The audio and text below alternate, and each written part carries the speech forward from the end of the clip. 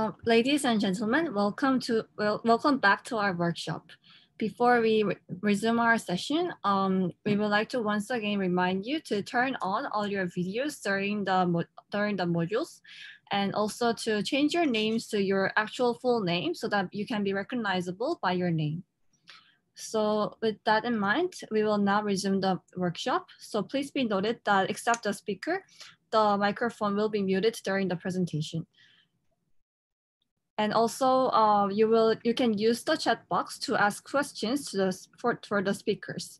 So and as we did for the last modules, the moderator will select few of the questions and ask the questions um, ask few ask the selected few questions to the speakers. And please be noted that due to the time constraint, not all your questions may be answered.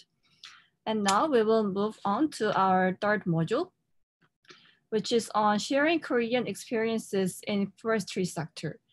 So please welcome our honorable speaker, Professor Yowhan Son of Korea University. Professor Son, you have maximum of 30 minutes.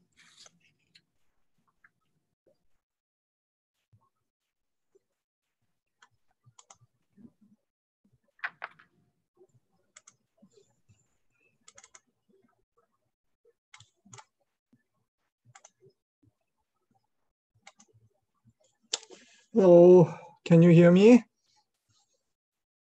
Okay. Uh, it is my great honor to speak today. Uh, my presentation title is Experiences of Korea on Forest Management from Tradition to Modern Practices. This is the brief contents of my talk. First, a short background, and second, uh, tradition on Korean forest uh, with uh, feng shui and historical governance of forest resources and community forestry, and then uh, reforestation program, followed by impacts of reforestation program, and finally, conclusions.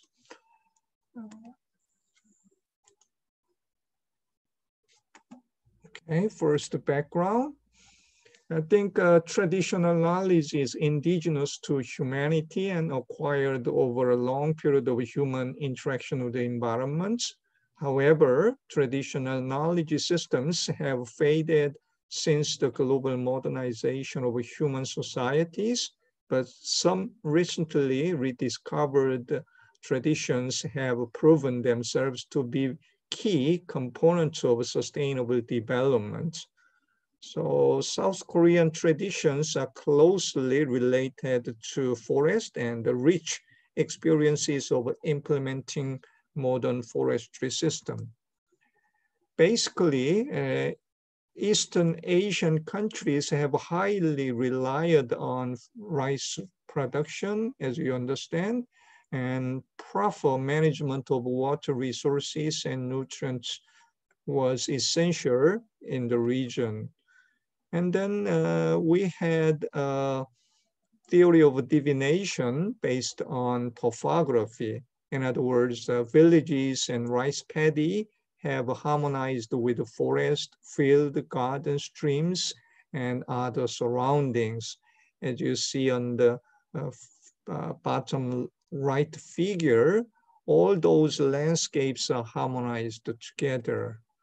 For example, if you have a forest at the backyard, uh, you have a field and garden near the uh, homes and villages, and in front of the villages, usually you have paddy fields.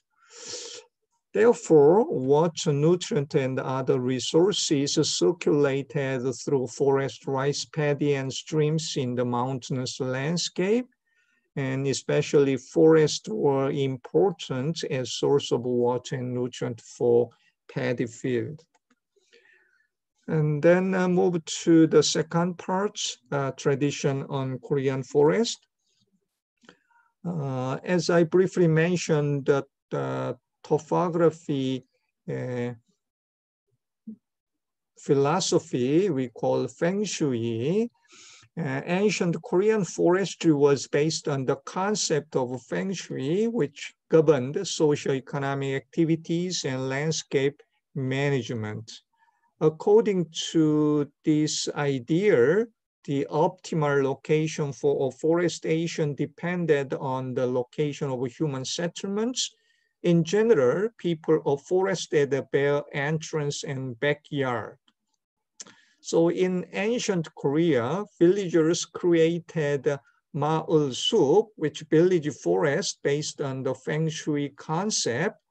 The village forests were considered religious and spiritual areas. Sometimes it included shrines and local villagers utilized it for livelihood, such as dead organic matter, fodder, and timbers.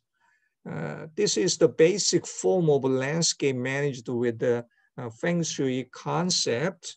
Again, uh, you see uh, forest land in front of the residential area, also backyard of the uh, human settlements. Village forest provided some fodders and dead organic matter, even some timbers for the villagers. And let me briefly explain the historical uh, governance of forest resources in Korea. Our country has a long history of forestry and early record of planting have been found. For example, early 200s, uh, record of pine tree planting were found and some other trees were recommended for planting in late 800s. Moreover, all the laws and policies included the concept of right tree on right side. The meaning of the concept is that tree species for planting should be selected after considering environmental condition of the target area. In Korea, all the laws forced to select tree species depending on local environmental condition.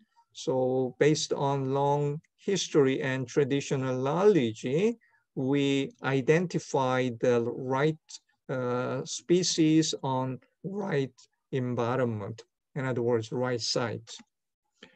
This table, this table shows some records of forest governance by ancient Korean kingdoms. In uh, third century, uh, Pinus densiflora afforestation near the royal tombs and palaces uh, were happened. And in 18th century, other species, including Korean uh, Pinus koraiensis jugulensis and morus were planted, something like that. And kingdoms protected Korean red pine forest strongly, setting forbidden, forbidden forest, enforcing illegal logging, monitoring forest, and controlling pine caterpillars, and so on. Also, kingdoms promoted cooperation with the local villagers. In other words, uh, they encouraged to manage the local forest and also allow the villagers to collect the timber and fuels and also encourage the participation of local villager groups for forest management. Uh, this figure shows the uh, planting of uh, Korean red pine uh, surrounding a royal tomb. Uh, at the background, you see the uh, Korean red pine forest surrounding the Uh, royal tombs. And also, uh, we well protected uh, Korean red pine, such as more than 400 years of Korean red pine trees in some areas. And also I'd like to briefly mention the importance of community forestry. Communities near forest play a significant role in realizing sustainable forest management. Uh, as you understand, community forestry refers to processes and mechanisms that enable key direct stakeholders in forestry to be part of decision making in all aspects of forest management. Forest community forestry regime encompasses participatory conservation, joint forest management, and private, private ownership. We had a special uh, local forestry cooperative such as Songge. And this Songge is uh, local forestry cooperative for laborers to collect timber and fuels and also to prevent illegal monopolies and poaching through participatory activities. And the members of Songge frequently worked with the uh, government, in other words, all the ancient kingdoms. Songge set strict self-regulations to protect the local forest, including penalties and ways of forest management and utilization. And also Songge had a participatory patrol system of fires and pests for local Korean red pine forest. This figure summarized the duties and benefit of Songge local forestry cooperative. They had duties such as provide labors, fees, and also they did fire patrol and forest watching. Also, they get benefit, including timbers, fuels, compost, and they can put ancestral tomb in the forest nearby. And they had self-regulation, and sometimes they worked with the kingdoms for forest policy and they share the forest resources. So these are the duties and benefit of Songge. The key concept of Songge have been adapted in reforestation in recent years as Sallimge. Sallimge is the, another name of local forestry cooperative in modern days. Salimge act as a self-governing mutual aid association promoting cooperation between local villagers and forest owners. Members participated in site preparation, plant, uh, tree planting, seed collection, nursery operation, forest management, and area patrols. Economic benefit and technical supports were given to Sallimge in reforestation programs. So participation of both government and local residents were conceptually similar to the traditional way of managing forests, such as local residents' use of village forest. This is very similar to the duties and benefit of uh, Songge in uh, old days. A little bit modernized and more systematically and managed. Let me uh, introduce some uh, reforestation program in Korea.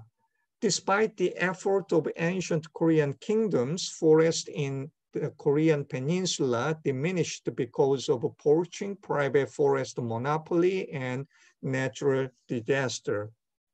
And subsequent to Japanese colonization and the Korean War, during the 20th century also destroyed the nation's forest. The South Korean government launched a nationwide reforestation program since 1960s, which is still one of the most successful reforestation activities in the world. Success of this program was considered to be the result of diverse drivers including the rapid growth of Korean economy, the strong leadership of the Korean government, and the substitution of energy source, sources. And nonetheless, uh, several practices for this program originated from traditional ecological knowledge and practices inherited from ancient Korean societies as uh, I briefly introduced, participatory program was very successful during the reforestation program. Also, strong collaboration with the local forestry cooperative was a key driver for successful reforestation. The South Korean government encouraged public participation in reforestation, similar to historical forest governance during the Joseon dynasty, which is a kingdom.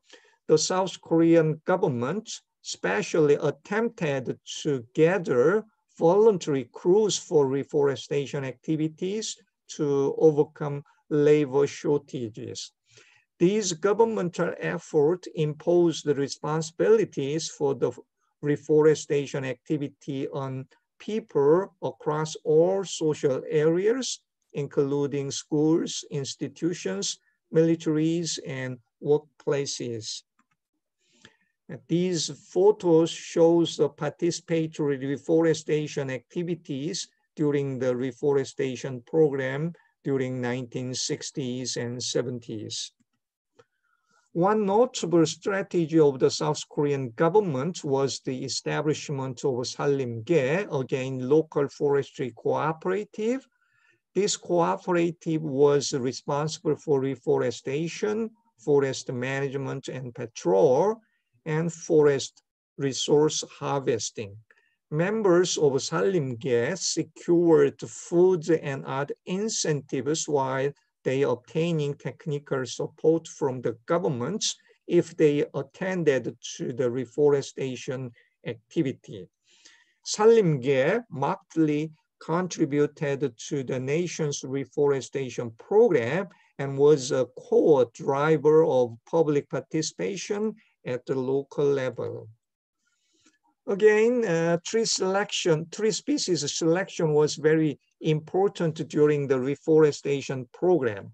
So the government specified the tree species for the reforestation program on the basis of the climatic zones and site classes of the target sites.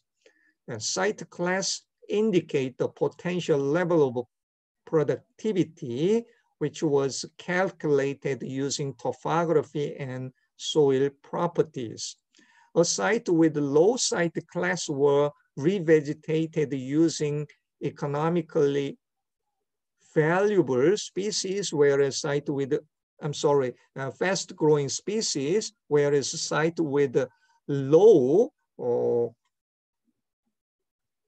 productivity were restored using nitrogen fixing and stress tolerant species to first improve soil fertility.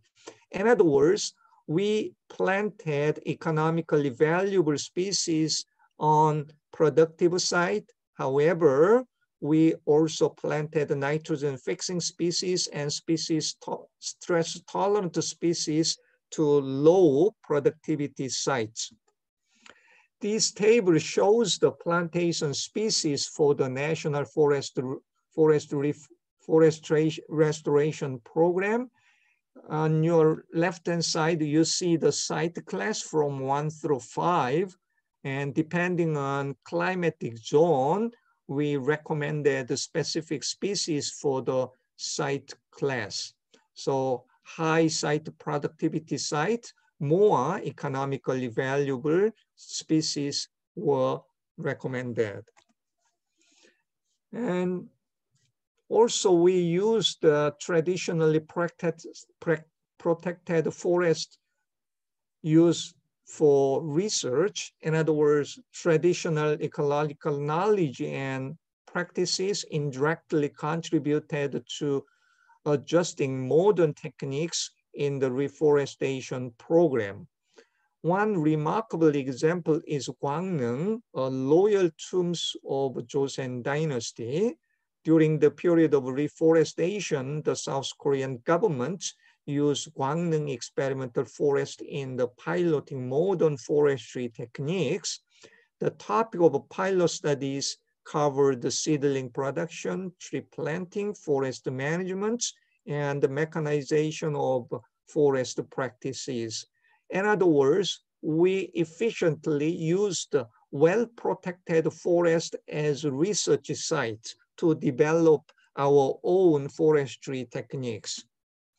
These photos shows some experiments at well-protected forest near Gwangneung area. Impact of reforestation program. What happened after the reforestation program? First, forest recovered. The mean stand volume per hectare was only 9.6 in 1960s, but it increased to more than 140 in 2015. The unstocked forest land were reduced from 3.3 million hectares to 0.2 million from 1952 to 007. The reforestation program acted as a basis for the rehabilitation of biodiversity. In other words, after reforestation, plant and animal biodiversity increased sharply. The planted trees also prevented soil erosion and provided organic matter by which forest soils become fertile enough for naturally regenerated vegetation to grow. This photo sh shows gradual changes in landscape after reforestation program during 1970s through year of 2000. The total carbon stock was uh, 422 TG in 1954, right after the Korean War, However, it increased to more than 900 TG in 2012 because of restoration of the forest. The restored forest additionally provided ecosystem services such as disaster risk reduction, water yield enhancements, and soil erosion controls, which are beneficial to human society. If all these ecosystems, ecosystem services are expressed in financial terms, in other words, billion dollars per year, the restored forest have served more than 2.8, 1.0, 0.3, and 0.3 between 1971 to 2010 in terms of carbon sequestration, disaster risk reduction, soil erosion control, and water yield enhancement respectively. In other words, after reforestation, all of those uh, ecosystem services increased dramatically in financial terms. In this figure, we see sharply increasing pattern of uh, carbon sequestration from 1960s to 2010. And also, uh, we had successful experimental forest establishments during the reforestation program. The South Korean government used the restored land for forest ecosystem research. In particular, they designated several well-conserved areas as experimental forest where extensive research activities were carried out experimental forest can be used as site to assess various forestry techniques and research objectives. Researchers can experiment on forest management alternatives for various purposes using experimental forest, while policymakers can pilot forestry laws and procedures before implementing them on a national scale.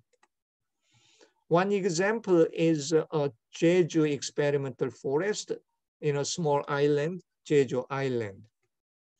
So finally, some conclusions. Experiences regarding sustainable forest management, in other words, traditional and modern community forestry, success of national reforestation, integration of reforestation activity with economic development, and ongoing research and development. These are the some experience we had during the reforestation program. And also, I like to stress the importance of community forestry again, and Songgye in old days and Sallimge during the modern reforestation days. They belonged to countries' forest policies concerning forest restoration, protection, and utilization. Developing countries have their own traditional knowledge and experience, experiences. Therefore, revisiting it would be useful as cross-border strategy toward the sustainable forest management. So if I suggest some uh, drivers for successful reforestation and sustainable forest management, first driver would be top-down governance. In other words, government provided influences and also they put the strong regulation to protect the forest after reforestation.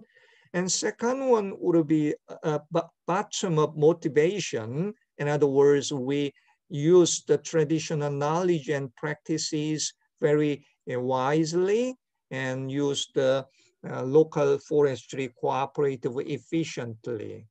And also we had a strong leadership and authorities of the central and local government to implement reforestation program. And also central and local governments uh, supported the techniques and financial uh, support to the local villagers to encourage participation of local people for reforestation activities. Uh, these are the uh, conclusions that I have. So I have about uh, 15 minutes left for questions. Okay.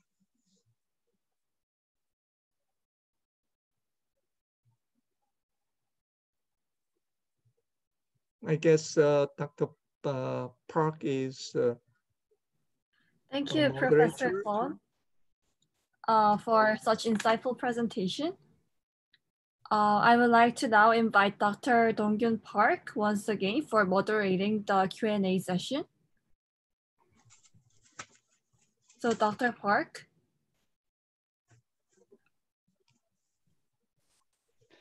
Uh, thank you, Professor Son, for making your presentation in a short time, uh, given just uh, 30 minutes.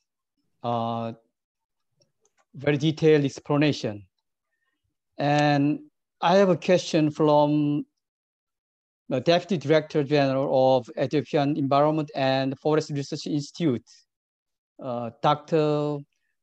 Azina Angelo Tenga. Uh, previously, we received already.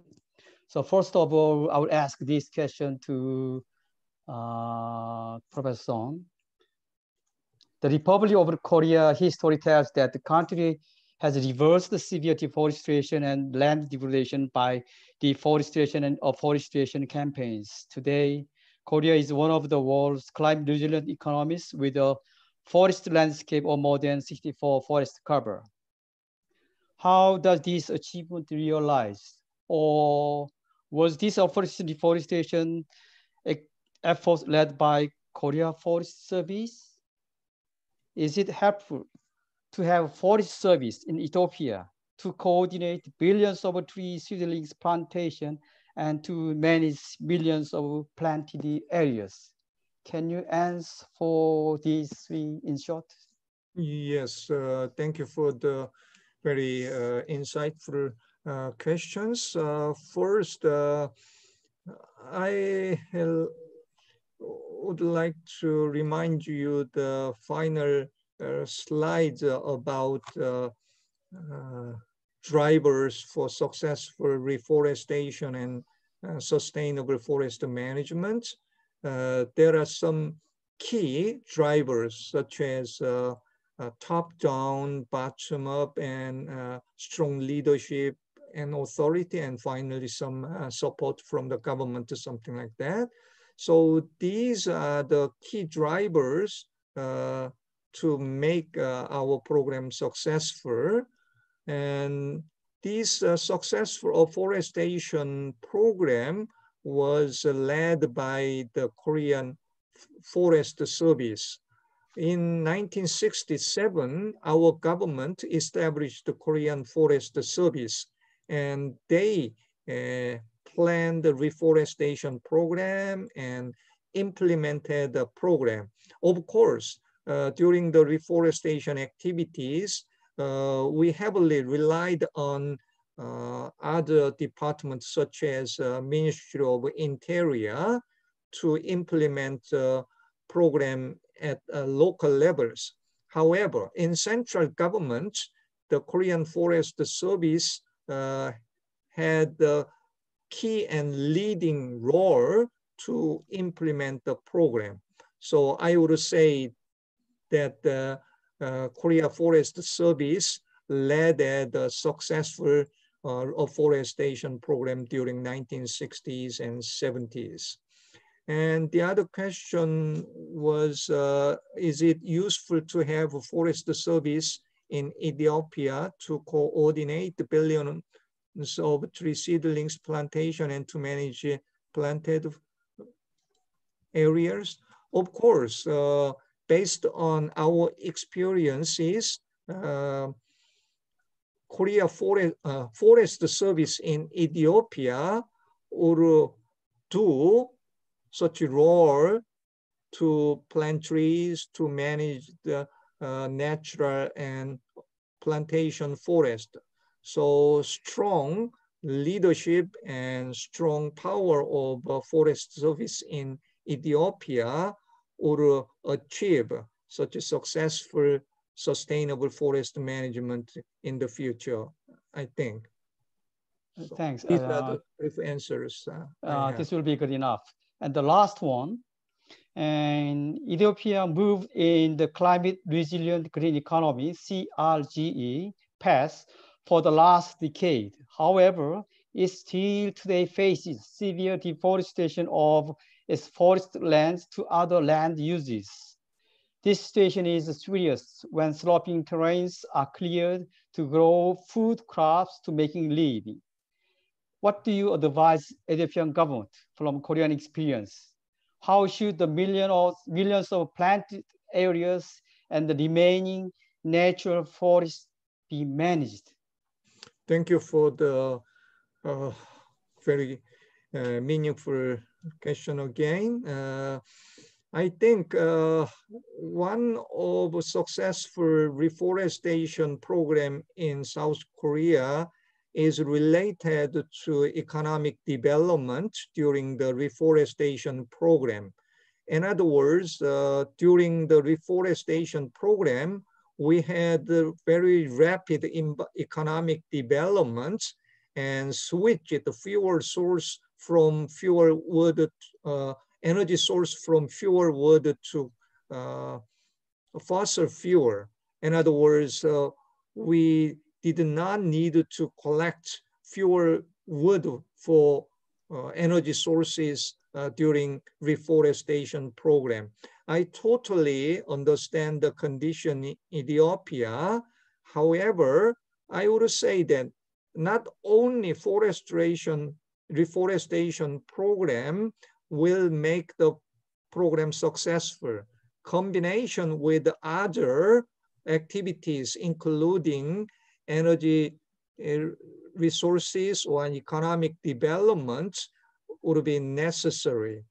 In other words, reforestation program should be implemented with the other sectors, uh, of course, including energy economy, so on. And the other point is about uh, artificial forest and natural forest. As you understand, uh, natural forests have high biodiversity and many other advantages compared to artificial plantations. Therefore, we need to have a balance between artificial plantation and natural forest. So we have to consider careful consideration of uh, balance between artificial plantation and natural forest. Based on our reforestation activities, uh, still we think uh, we did not uh, put much emphasis on natural forest during the reforestation. At the time, we put high value on artificial coniferous plantation. However, later we found that the value of natural forest. So now we try to have balance between artificial plantation and natural forest. So I would say that uh, you need to consider careful balance between artificial plantations and natural forest. That's my short answer to the question. Uh, the Honorable Deputy Director, Dr. Tenga, can you hear me? Yeah, I can hear you. Uh... Okay, uh, I hope the, you made a good point and the Professor Son answered your all four questions. But if you have more questions, you can directly ask him right now. Yeah, I'm, I'm very much uh, satisfied by the, um, by the answer and the presentation itself. Uh, wish to have uh, the slides shared because it's important also uh, other colleagues in the research and uh, the development sector to, to have uh, this experience of uh, Korea and this afforestation, afforestation endeavor and also in the climate change mitigation adaptation. So it is, it is important to have um, the slides but the, the answers are well addressed. Thank you very much. Thank you. Thank you. Uh, and then your other questions we, we will answer later, okay? Okay, okay, okay sir. Thank okay. you. And the other participant, if you have any other questions, you can leave uh, your questions in the chatting. Dr. Park, I read one uh, oh, yes, you can answer it. Yes, actually. Okay. From, uh, can I do that now? Yes, please do that. Yes. Uh, here is the question. What is the share of the forest sector to GDP in Korea? Do you know how cover now cover from inland or wood product demand uh, these days? First, uh, mm -hmm. forestry sector uh, has less than 1% of GDP in Korea now. And uh, how much wood products supplied by the national uh, domestic forest? Uh, less than 20%. In other words, we are importing more than 80% of uh, wood demand from outside. So we are heavily depend on the overseas market. Yes.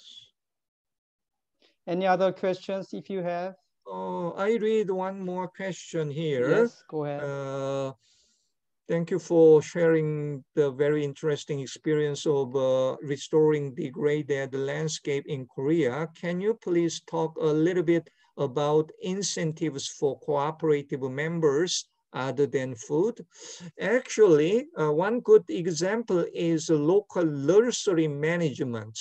In other words, uh, we encourage the local people to make uh, forest nursery near the village. And government provided the seed for seedlings. And once local people produce seedlings, government purchase them and return them to the local people to plant trees near the village. That was a good incentive for local people, local cooperative members to get uh, income sources from the government while they secure the seedlings to plant trees near the village.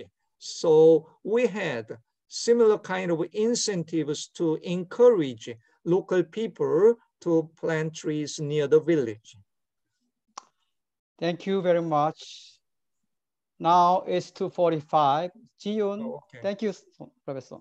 Thank you, Dr. Wong, Dr. Park. Thank you thank again. You. It, it was my great honor again. Thank you so much. Thank you. Jiyoon, it's your um, thank you, Dr. Park, for moderating the Q&A session effectively. And now we will move on to the next module, which is uh, next module. And please be reminded that you may also leave questions at the chat board um, to be answered at the end of the module, module four. So now Professor Suh-Yong Chung will provide us his insights on international market mechanism and its role as a window for climate finance. So P Professor Chung, you have up to 30 minutes and the floor is yours.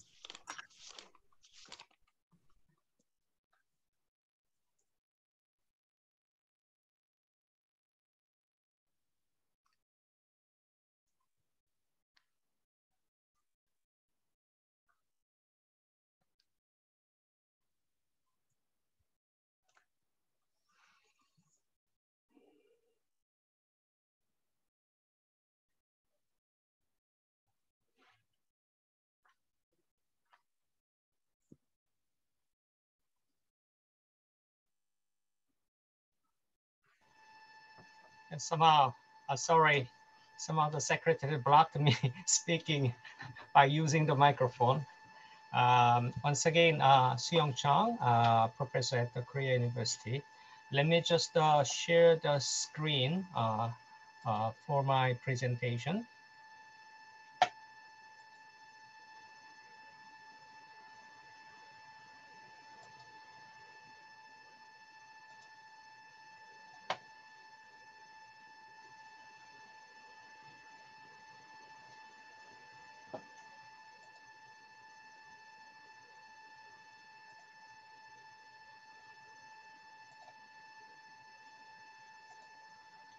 Okay, uh, this is uh, Article 6 of the Paris Agreement, rules of Article 6 in implementing NDC. NDC means nationally determined contributions. So uh, my presentation uh, may uh, related to my uh, earlier presentation today about uh, Korea Green New Deal, Green New Deal concept in the context of COVID-19. Uh, in my presentation uh, on the Green New Deal, I indicated that you know uh, Ethiopian government may want to uh, you know uh, utilize the current uh, NDC, in other words, CRGE, uh, in order to develop the further government policy measures to address COVID-19 recovery plans. And as in Korea, if that would be the case in Ethiopia, then the next question is how would you be able to secure the necessary funding to support all these uh, further efforts uh, by the Ethiopian government. So in the sense that uh, in developing countries, you may have two options. First option will be further mobilizing domestic finance resources. And second option will be then uh, maybe you might want to seek for alternate additional funding from outside Ethiopia. And then uh, my presentation today is about how you can use Article 6 of the Paris Agreement. You know, many people call this as a carbon market um, as a way of actually bringing more financial resources for Ethiopia. So let me show you uh, the text of the Article 6. I I assume that uh, you may you may not uh, seen the uh, text of the Article 6 yet. This will be the first time. This is a sort of the new carbon market as a nickname uh, under the Paris Agreement. How long is it? It's not that long. This is the all that we have for now in the context of uh, how we can use Article 6 mechanism under the Paris Agreement. So this shows that the Article 6 of the Paris Agreement it has only nine paragraphs. Nine paragraphs consist of the several parts. First part, I would say the general principle. Second, third, uh, consist of the one mechanism. It will consist of one mechanism, and then that's a 6.2 mechanism. So it's not that long. If you read things, you can see toward the nationally determined contributions, and then international transfer mitigation outcomes, double counting, robust accounting, voluntary, things like that. And then another mechanism under the Paris Agreement, Article 6, comes with paragraph 4, 5, 6, 7. We call it as a mechanism. It'll, it will look similar to that of the CDM. Okay, I, I think uh, some of you at least may know the CDM. And this six, second mechanism will be similar to that of the CDM. And then third mechanism, uh, we call it as a non-market mechanism. Somehow, you know, non-market mechanism comes in as a part of a market mechanism. That's because of the negotiation beauty. One country strongly opposed to agree on the Article 6 text unless they would, uh, countries would agree on including this mechanism. So this is a we call the market mechanism, and then it's largely not considered in the context of the how we can use the market principles in mobilizing financial resources. But anyway, once again, there are three mechanisms, 6.2 mechanism, 6.4 mechanism, and 6.8 mechanism. And today, uh, my presentation will focus on mainly 6.2 and 6.4 mechanisms. So Article 6, as I said, as you will read uh, later on, that the text that I provided, it doesn't mention anything about the market in any wording uh, in the text of Article 6. However, it uh, indicates the importance of carbon pricing. If we read it carefully, emphasize voluntary cooperation. Nobody will force anybody to use market mechanism. It's up to you. It's up to Ethiopia, uh, no matter whether you want to use it or not. And it presumes the use of market principle, once again, through Article 6.2 and 6.4. So uh, it doesn't necessarily mean market itself, but largely it is associated with the market principles and market instruments. What does this mean?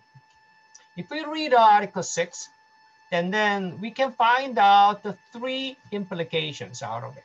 First, this could be probably one of the very few, probably the only article under the Paris Agreement which emphasize, which promotes interstate cooperation to achieve the goal of the Paris Agreement. So Article 6 emphasize that, okay, countries can work together to implement its NDC, okay? So interstate cooperation is explicitly you know, mentioned in this article. Number two, depending on how you understand this, as I said before, it can be a window for climate financing.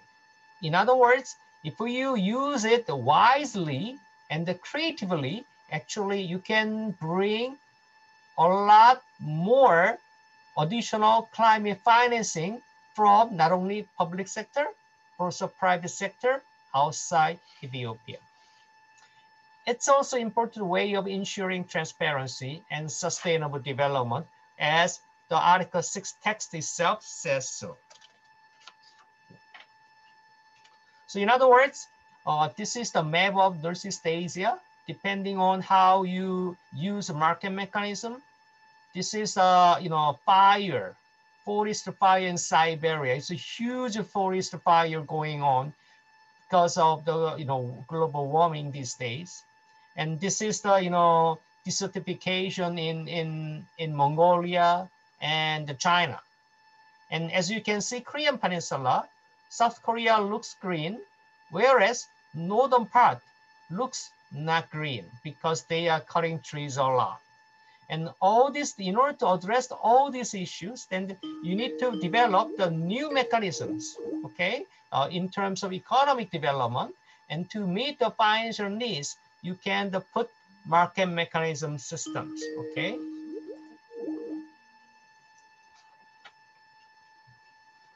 So uh, uh, role of the uh, carbon markets in, in general, traditionally, you know, involves it's a flexible, cost effective, and then it's a lowest cost mitigation opportunities available.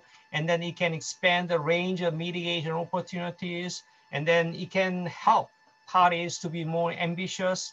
And then, however, uh, it needs the environment to environmentally robust and then they are linked to each other. So some people say that, okay, ETS, emission trading system is very, very important. And the CDM comes in another context. And these are traditional, uh, you know, uh, topics that we discuss about in the context role of the carbon market.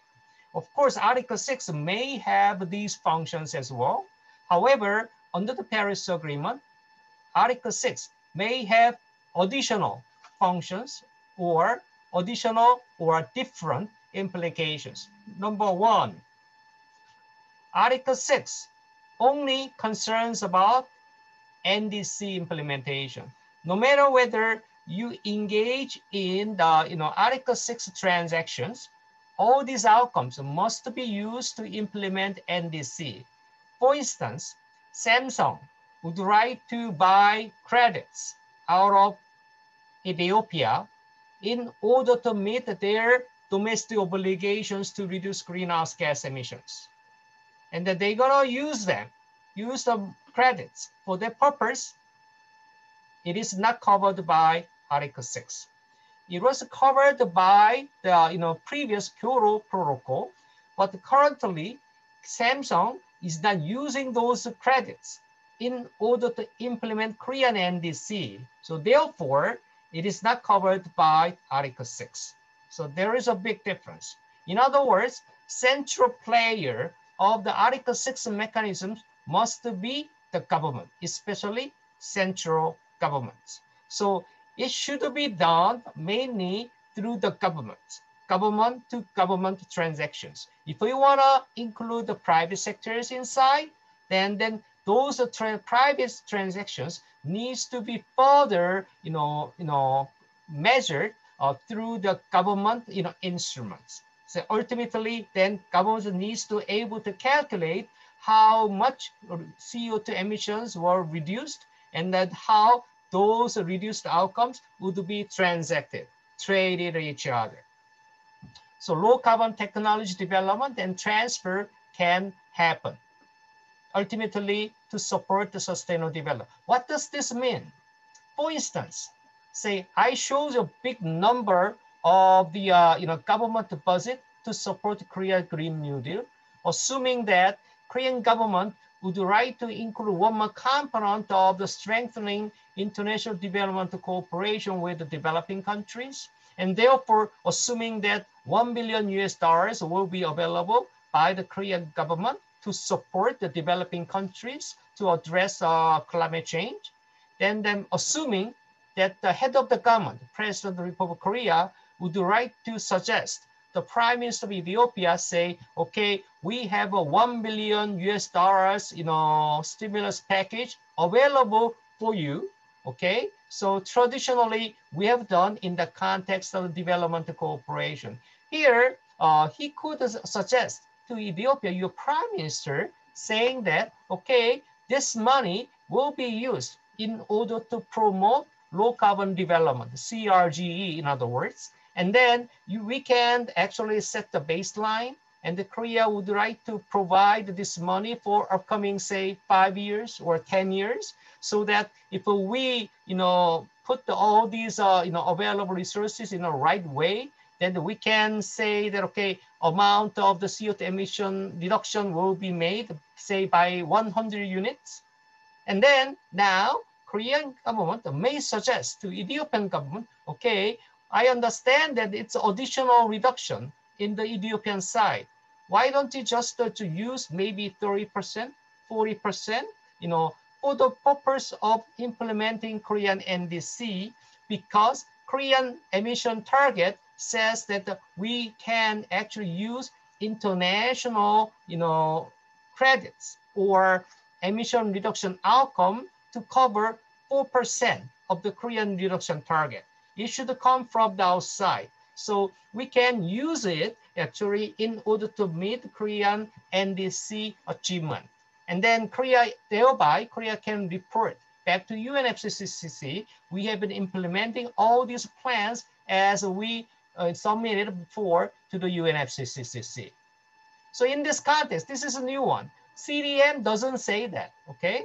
Uh, it doesn't involve the uh, you know direct transaction between the countries, but Article 6 will allow the governments to negotiate on this matter. So this is, uh, it eventually promote once again technology transfer and then securing additional financing resources for developing countries.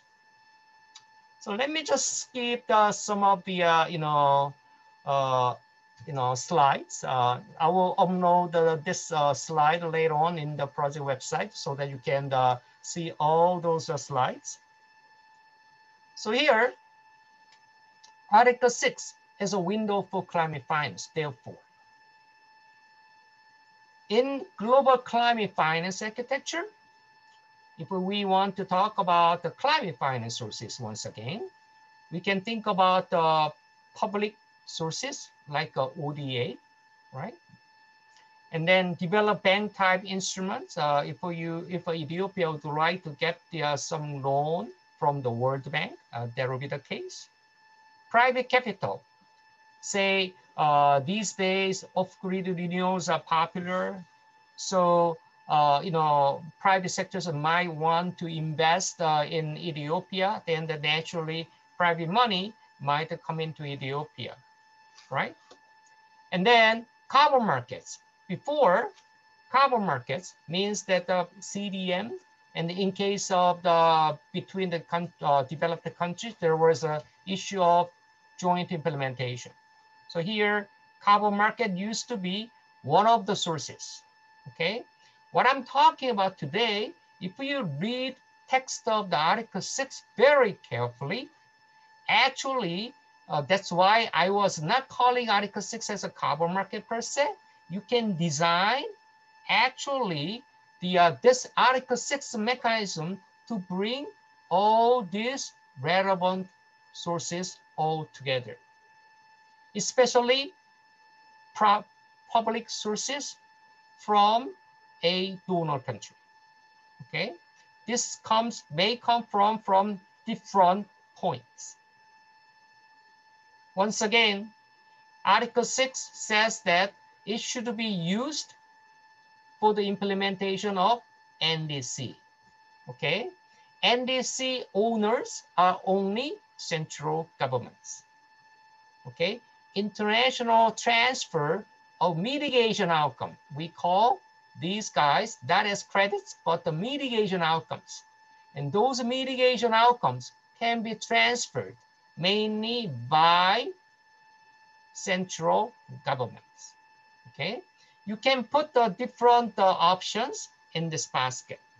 In other words, under the Kyoto Protocol, we, we differentiate carbon market and climate finance. Carbon market was uh, one of the tiny, you know, options available in the climate finance. However, what I'm talking about today is that if you design the Article 6 mechanism very well, then you can actually use this concept to bring the various sources of climate finance. So you see the differences. In other words, as you can see here, you can see bilateral agencies like, uh, you know, GIZ and KOICA, multilateral agencies, banks like uh, World Bank, and then you see GCF, GEF, UNFCCC, they have, uh, you know, their climate finance sources. And also another source used to be public-private sources, okay?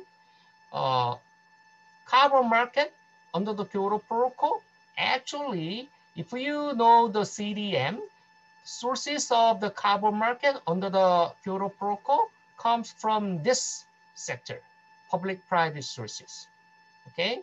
And all others, development assistance, and then new and additional climate finance, so you may know the NAMA project and the CIF and others, right? Uh, there were different, uh, you know, sources and the CDM was one of them. What I'm talking about is that you can, you know, somehow, you know, put all these ones, especially development assistance sources, okay?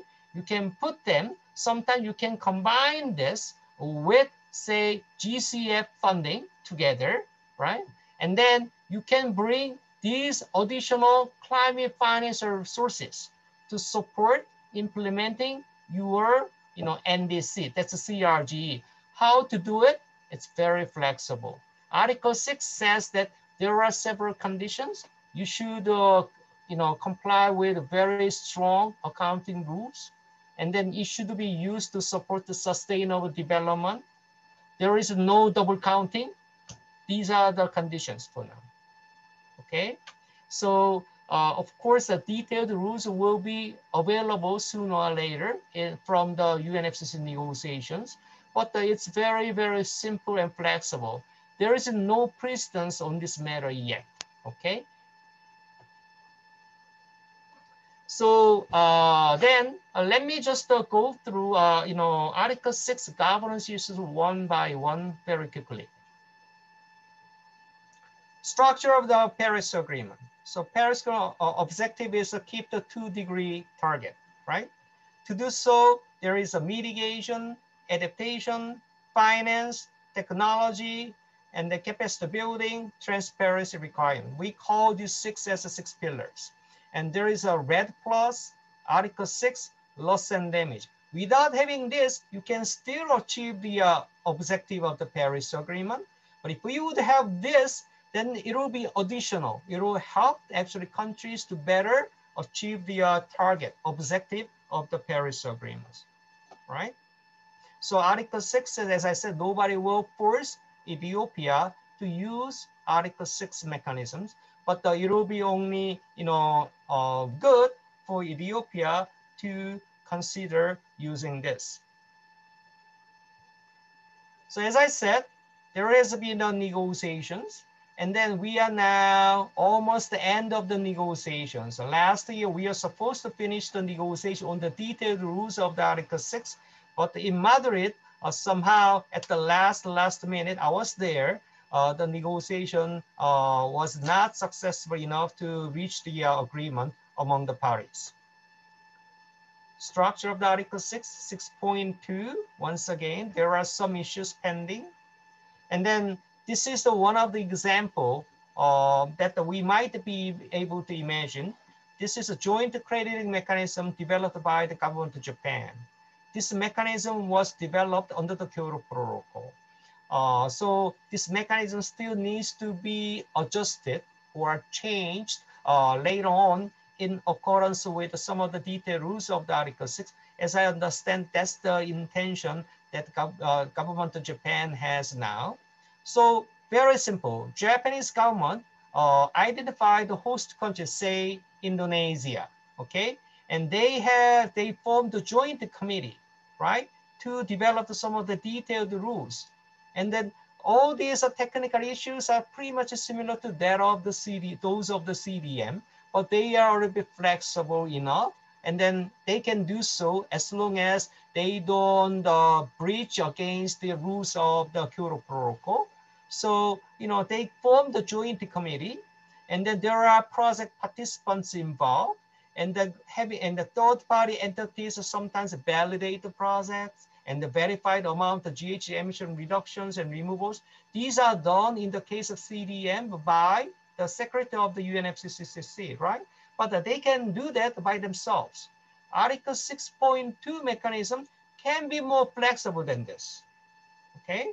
So if Ethiopia can identify the good partner, you can pretty much actually design the mechanism by yourself through a negotiation with another country.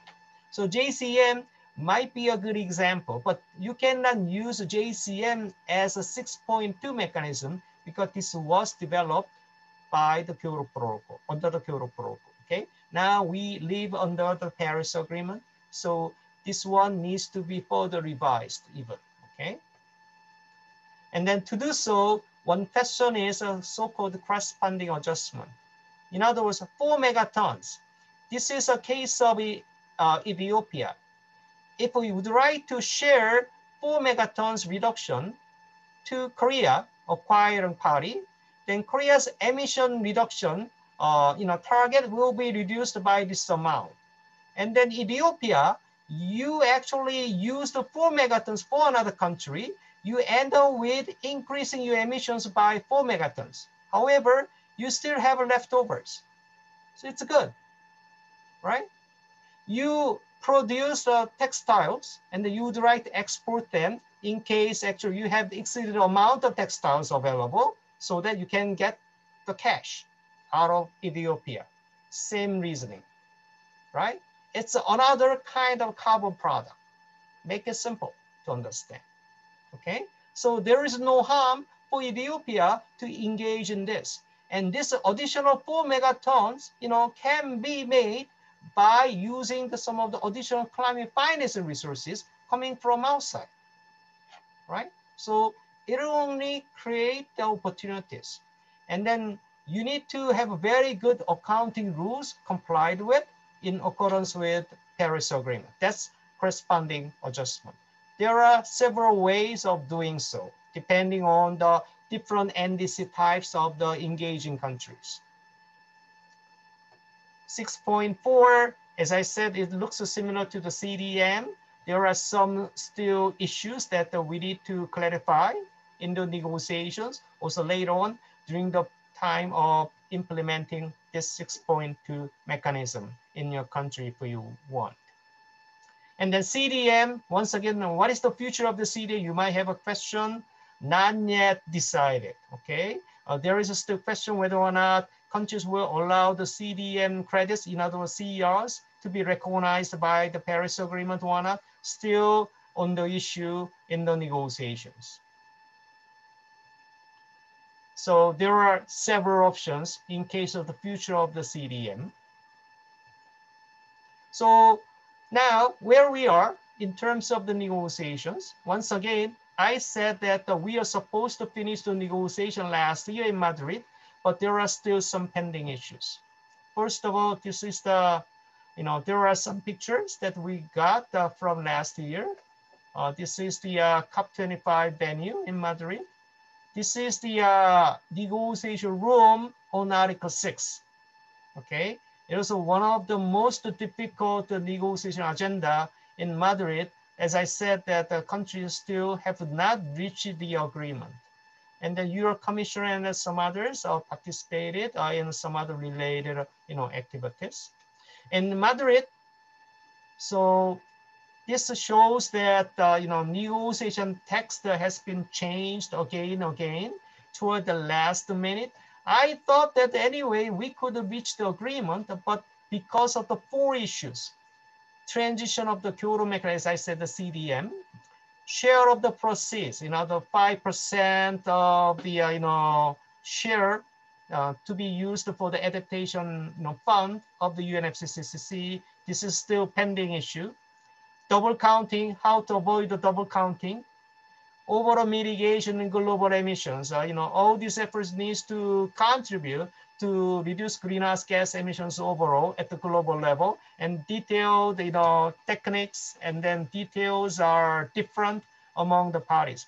Because of the four issues pending last year, we are supposed to finish this, this negotiation actually in Glasgow this year, but due to COVID-19, uh, UNFCCC postponed the, uh, you know, this uh, COP meeting this year to next year in Glasgow. So we have to finish uh, these negotiations by next year.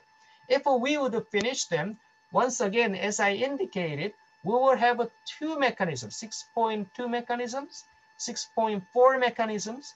6.4 mechanism will be similar to that of the CDM, right? It's a small scale of the project. 6.2 mechanisms will be government to government. And then nobody will decide the mechanism itself. It's up to the parties as long as they comply with the rules on double counting, avoiding double counting, sustainable development, robust accounting rules, and then all the as long environment integrity, as long as parties comply with these rules, and then uh, you can design the mechanism by yourself. You can put things and then set the baseline, calculate reduce the reduced emission outcomes, and it's up to the countries how much you can exchange it, right? In any kind of form by bringing more technology and finance resources for your country if you are willing to do so. In the sense that I think uh, it will be very good if uh, Ethiopia uh, would put the additional government unit which will handle this issue later on. Then you can, you know, use this government unit inside your commission to have uh, negotiations or discussions with the potential donors governments and later on some other, you know, World Bank, you know, deposits some of the mitigation outcomes coming from developed countries. So, you know, there will be uh, some of the additional benefits that you can create. So nobody will force, once again, Ethiopia or any developing countries to introduce this mechanism. But as I understand that different from the CDM, depending on how you design it, it can bring the large amount of the, uh, you know, tangible benefits uh, to Ethiopia. So at the national level, at the international level, there are some issues that Ethiopia might want to consider in order to grab this good possible opportunities under the Article 6 of the Paris Agreement. Finally, uh, these are some of the pictures, or some of them you, you already saw uh, that uh, you know my group uh, together with the partner organizations here and there worked on the market Article 6 of the Paris Agreement. This is the end of my presentation. Thank you very much.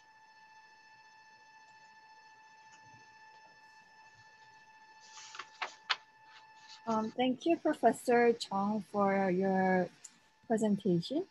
And now, please welcome Dr. Park once again, who will moderate the Q&A session for this module. Dr. Park.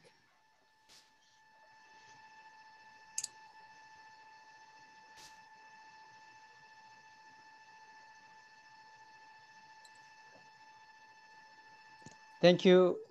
Thank you, Dr. Chung. Thank you, Professor Chung. Uh, Professor Chung explained the critical information on Article 6 of Paris Agreement with uh, concise and useful and various examples. In particular, the Green New Deal announced in the morning and uh, the international market mechanism just presented are closely related. It is also associated with uh, CRGE and is connected to the carbon market. Uh, unfortunately, this topic is too difficult for me also. Anyway, first question. Thanks for your in-depth elaboration of Article 6 of the Paris Agreement. As you might know, Ethiopia has started a comprehensive tree planting program through the Prime Minister's Green Legacy Initiative. What should Ethiopia do more to benefit from the market mechanism on the Article 6? Can you answer? Hey, uh, I can I can spend uh, more than an hour to answer this question. Sorry. let me let me let me answer in one or two minutes.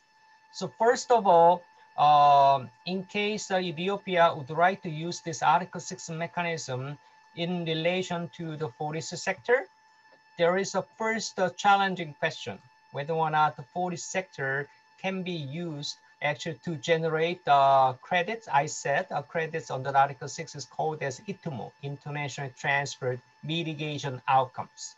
And this is one of the uh, hot negotiation topic in the UNFCCC. So in other words, uh, mitigation outcome, whether or not it would include the issue of the sinks, that's related to forestry. And then the government Republic of Korea is very, very active to push actually the all these member countries to include the sinks. In other words, to in order to include the forest sector to be covered by Article 6. And then I think likely it will happen, okay? And then number two, to do so, say when you uh, develop your, you know, planting plans in Ethiopia, first of all, you need to set the baseline, right? And then you need to calculate how much you can reduce greenhouse gas emissions, right? And then in accordance with Article 13 of the UNFCCC Paris Agreement, that's transparency requirement. In other words, in your country, you call it as MRV, okay? Your MRV system must be compatible with the that of the UNFCCC, in other words, Paris Agreement, okay? And then you have your national MRV and the, many of your planting programs and the projects will be done at the local level. then your national MRV inventory system, in other words, must be able to capture what's going on at the local level. So in other words, it's very, very critical for Ethiopia to develop not only national MRV system in accordance with the requirements under the Paris Agreement, but at the same time, uh, based on that, you need to further develop your sub-national MRV systems. Either those sub-national activities can be automatically reflected on your national MRV system, or you have a different system, but you have a mechanism actually to share the uh, you know outcomes of the MRV you know management for the national purpose. So it is up to you, but uh, it needs to be you know placed uh, first uh, within your uh, government. Okay, that's the uh, first step. And then I said forestry is likely to be included. I'm very positive. And the second, uh, I see, I have seen, observed the uh, MRV activities by Ethiopia. So you are one of the leading countries among the developing countries. I'm pretty certain, okay? So uh, if you cannot have a full MRV system placed in every provinces, I know that some of the uh, provinces uh, in your country already have like a province level of the REDD+ uh, programs and then similar ones. So maybe that could be the first starting point, okay? And then uh, I, I suggest, I indicate that you might want to, Ethiopian government might want to uh, establish a uh, government unit to deal with, to handle the transferring mitigation outcomes that can be calculated based on your national inventory system in the case of transactions who are transferring mitigation outcomes to another country. National MRV system is a domestic one, but you need to have a unit which will handle the transactions, trading, right, with another countries. Those another countries will be likely the governments, not the private sectors.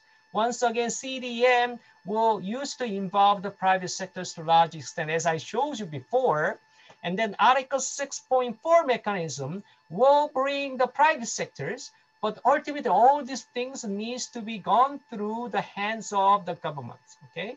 Paris Agreement is still in the negotiation on this matter. So we don't have yet concrete examples available, but I think uh, it's very good for if you think about, you know, uh, transfer ready projects available, right? as you know negotiation would be finished, and then you can uh, engage in additional activity to utilize Article 6 right away. So there are some steps that uh, you need to do, but once again, uh, I have a very positive uh, response uh, to your country uh, in the in about the possibility of the using Article 6 to deal with forest sector. I, am sure that it will bring the more financial resources for your country to better implement your CRG. Thank you very much. Uh, the Deputy Director of KOICA, Mr. Sin, can you hear me? Can you hear me? Mr. Sin? Yes, okay. yes. Yeah, okay. I understand that uh, you prepared some uh, project uh, in uh, for 2021, uh, 2021. In that project, you mentioned about some uh, Paris Agreement and, and, and, and carbon market and Article 6. So, and I guess there, I do not receive many questions for these topics because it is too difficult. And what do you expect from that uh, project. And can you uh, tell me about your uh, opinion about the 6.2 or Article 6 and why you prepared uh, that uh, Article 6 in that uh, project? Can you explain to us yes, the importance um, of that 6 and others? In the, in the previous session, the um, our country director briefly indicated that the there is a new uh, project uh, uh, entitled Forest Rehabilitation Initi Program in partnership with uh, GGGI is uh, coming earlier next year for the implementation. Under this program, we do uh, aims to recover the uh, forest uh, around the uh, 14, 13,000 hectares in the selected watershed in the Ethiopia.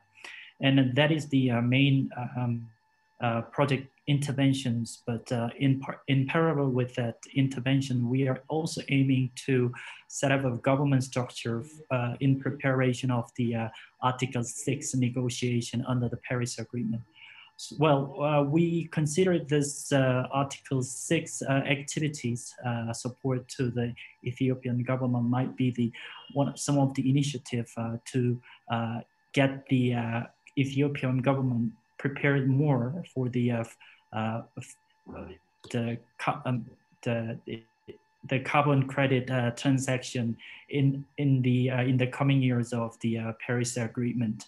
But I but I think but as of now we. Uh, in order to for the Article 6 and ITMOR uh, to be truly uh, beneficial, I think that a certain safeguard needs to be put in place to prevent the um, some pitfalls that the plug uh, pre previous international offset uh, schemes such as the CDM and then CDM and the uh, joint implementation. So uh, there is uh, something uh, to be seen under this Paris Agreement negotiation because there there should be some rule book for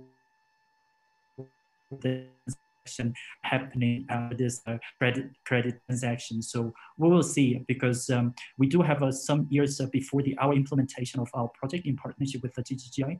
So uh, we will uh, make a, design for the our project to incorporate this Paris Article 6 activity into our program. So as of now, I can only hope that the, the negotiation process finish soon. So that'll guide us to design uh, more our activity uh, relating to the Article 6. That is all. Thank you very much for your explanation. I hope you can share your ideas with your colleagues and spread your ideas to uh, among your the KOICA uh, friends. Thank you very much. Thanks for yeah, your uh, thanks. support. Thanks. Uh, I still have three more minutes. Any other questions from the participants floors? So let me uh, let me let me yeah. add some more words. Uh, first yes, of all, yeah.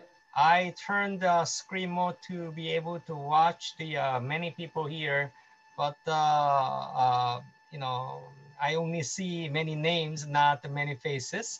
I assume that uh, many of you are listening rather than watching uh, my presentation now. Um, what I talked about Article 6 uh, might, uh, you know, to you a little bit difficult, but actually it's not. Um, it might you might feel difficult because it, we don't still have yet any precedent case, okay? But uh, I indicated, for instance, uh, JCM can be a basis uh, to design the new mechanism, okay? Uh, in developing world, even Korea used to do that before. Uh, we used to use the things that are already available in a very advanced developed countries. But actually, mitigation outcome can be more generated possibly in developing countries. So you should be able to yourself actually to best utilize your products, right? To get uh, maximize the benefits out of it. And the Article 6 only emphasized the voluntary cooperation, right? It's cooperation means that it needs to uh, make win-win situation, right? Good for both. And then it's additional, right? It's not a zero-sum game. It's a win-win situation. And I see that the potential a lot while I have been in the UNFCCC negotiation as a part of Korean delegation as an advisor on Article 6 uh, issues, okay? So uh, you can still design it, uh, you know, if you are familiar with uh, ETS or CDM, but you can design the complete different mechanisms as well. Some developing countries don't have a good, uh, you know, sense of introducing CDM or ETS right away. You may not be ready or you may have uh, not good experiences before. And Article 6 is not identical. If I ask the uh, European negotiators, many of them tell me that, okay, Article 6 mechanism is not about linking ETSs. It's not. Okay, it can be one of the mechanisms, but it's not automatically. Okay, so it could mean something else. As I said, it could be very simple. Okay, and then UNFCCC is not that complicated a document and rules that it has. So as you understand, okay, uh, in case of Ethiopia, you belong to the African group and LDC groups in the negotiations. And then Ethiopia may need to follow the, their di general directions, but at the same as a sovereign nation, sovereign country, you can also have your own mechanisms, okay, within the category.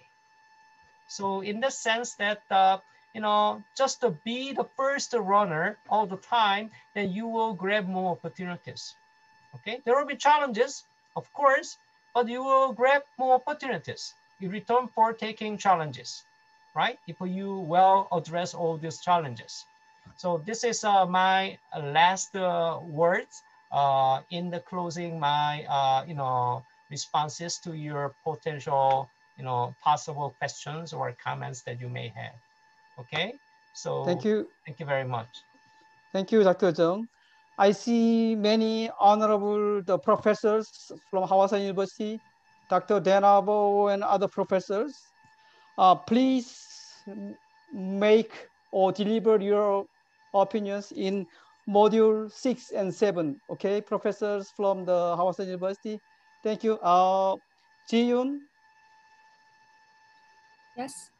thank you. Ji-yoon, yeah. Um, thank you, Dr. Park, for moderating the Q&A session very effectively. And once again, thank you, Professor Suh-Yong Chung, for such a valuable presentation. So we'll now have a short 15 minutes break. So please be back by 3.45 p.m. Thank you.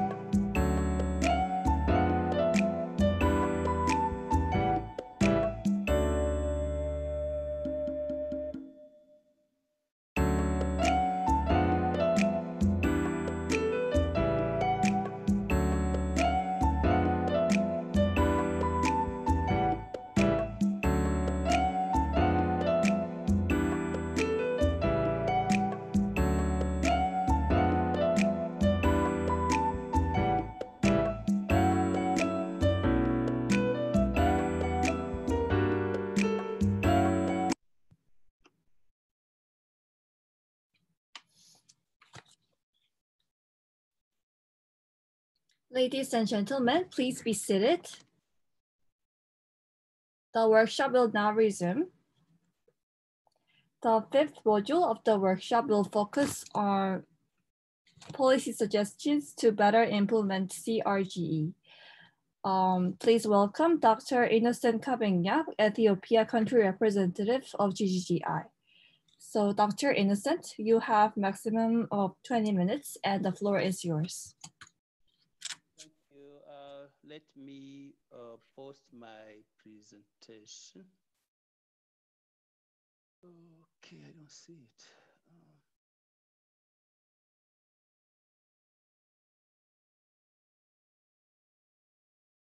I'm trying to get my presentation here.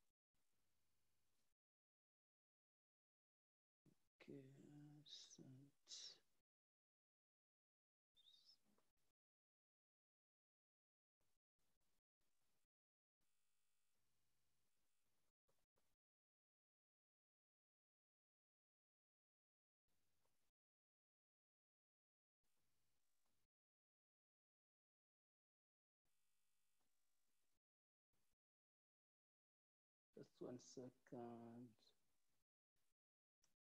I have to get my presentation.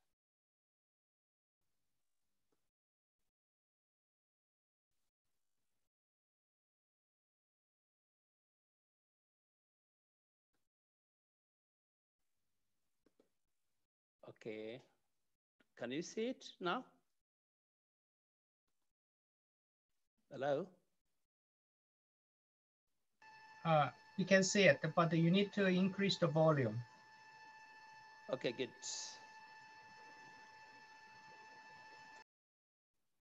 Just one second. Very good. Okay.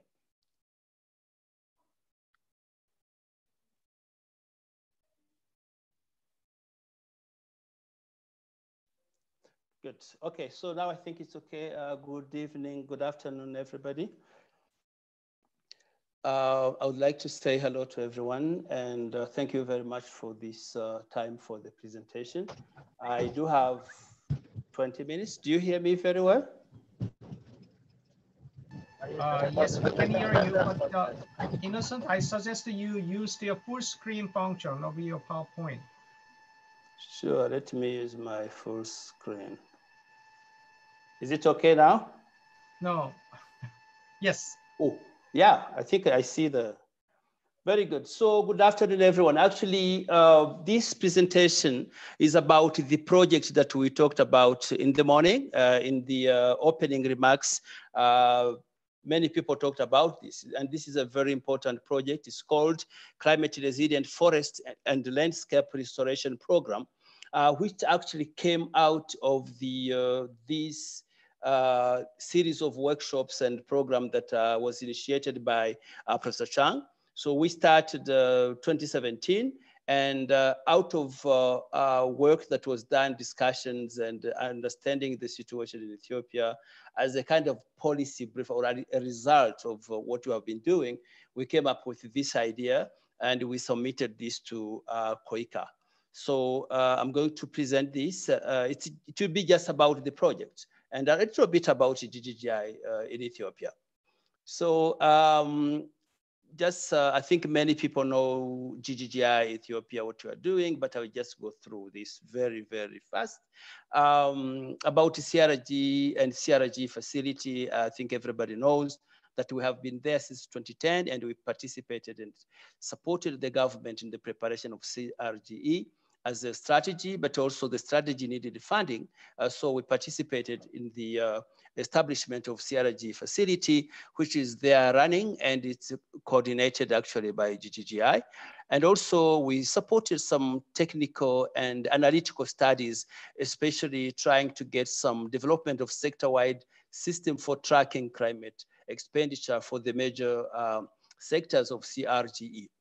Uh, last year, from 2019 20, and last year uh, and this year actually, we have been working on industrial park. And the whole objective is trying to make industrial parks green or eco-industrial parks as uh, they are mentioned in many documents in Ethiopia.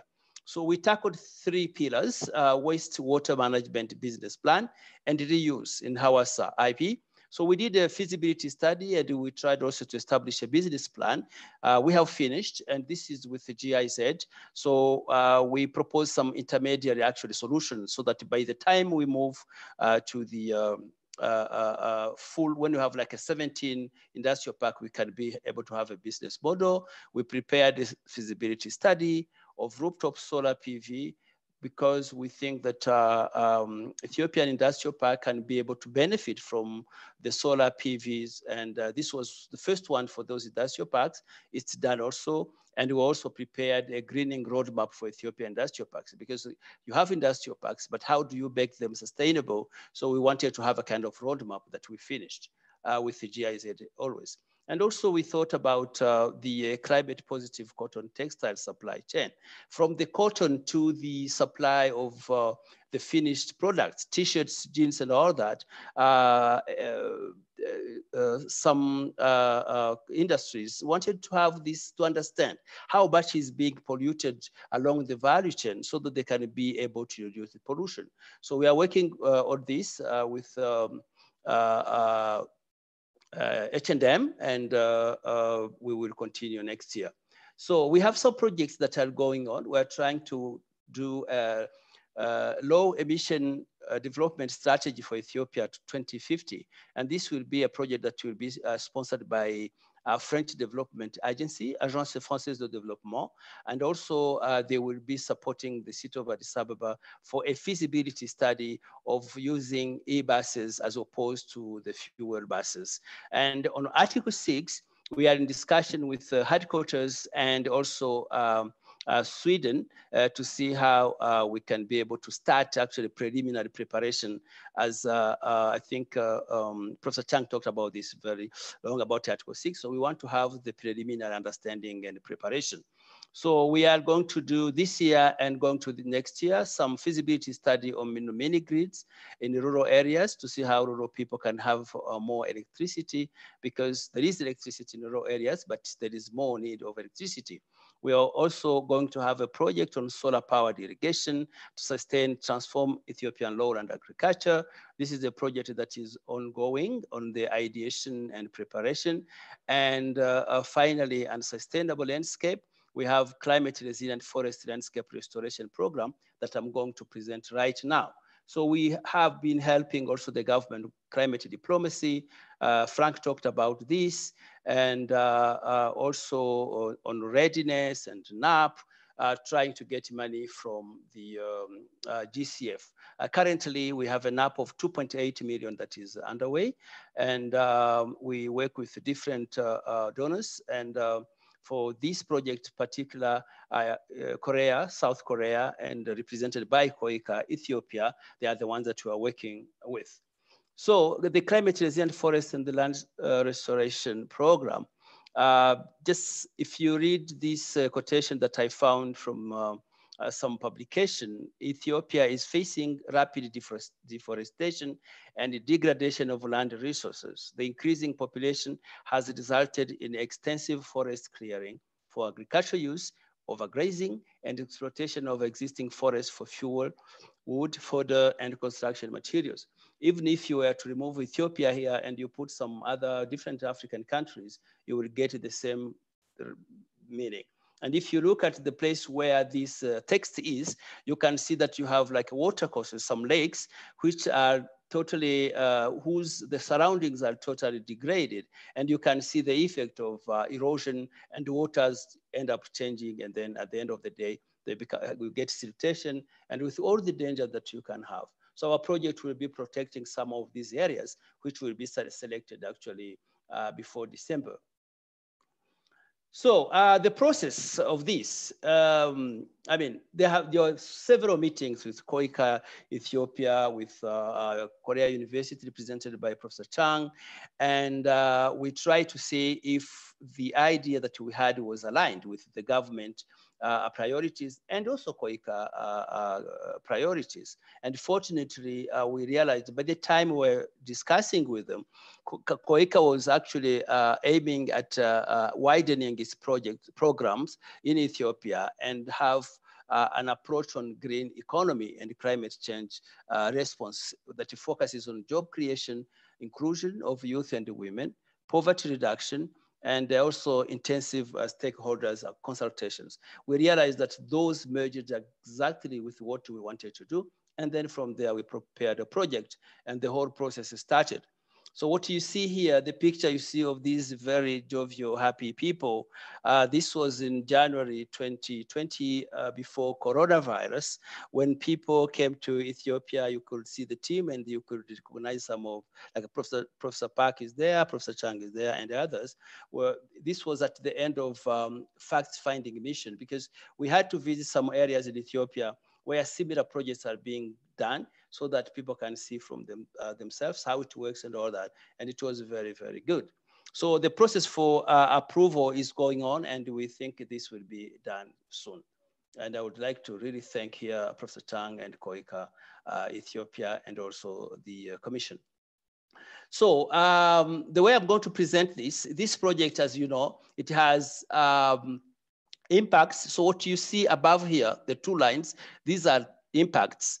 And um, uh, yeah, these are two impacts. And then if you look down at the columns, these are the outcomes. And down there, I'll show you what will be the output so that you understand what this project will bring out. But I would also like to underline that the project will have about, uh, uh, if, if, everything goes well, we will have 12 million US dollar to do that. And we will cover 13,000 hectares of degraded lands in selected watersheds. So um, the three outcomes are about institutional arrangements. It's about uh, site appropriate technologies and the green finance mechanism. And if you combine all these together, the outcomes will lead to forest conservation and restoration, uh, which will be implemented as 13 hectares, as I said. And then uh, uh, we will also to be able to secure ecosystems that have really totally gone. And this will also have uh, an effect of job creation, climate resilience, and also support green growth uh, uh, as a whole.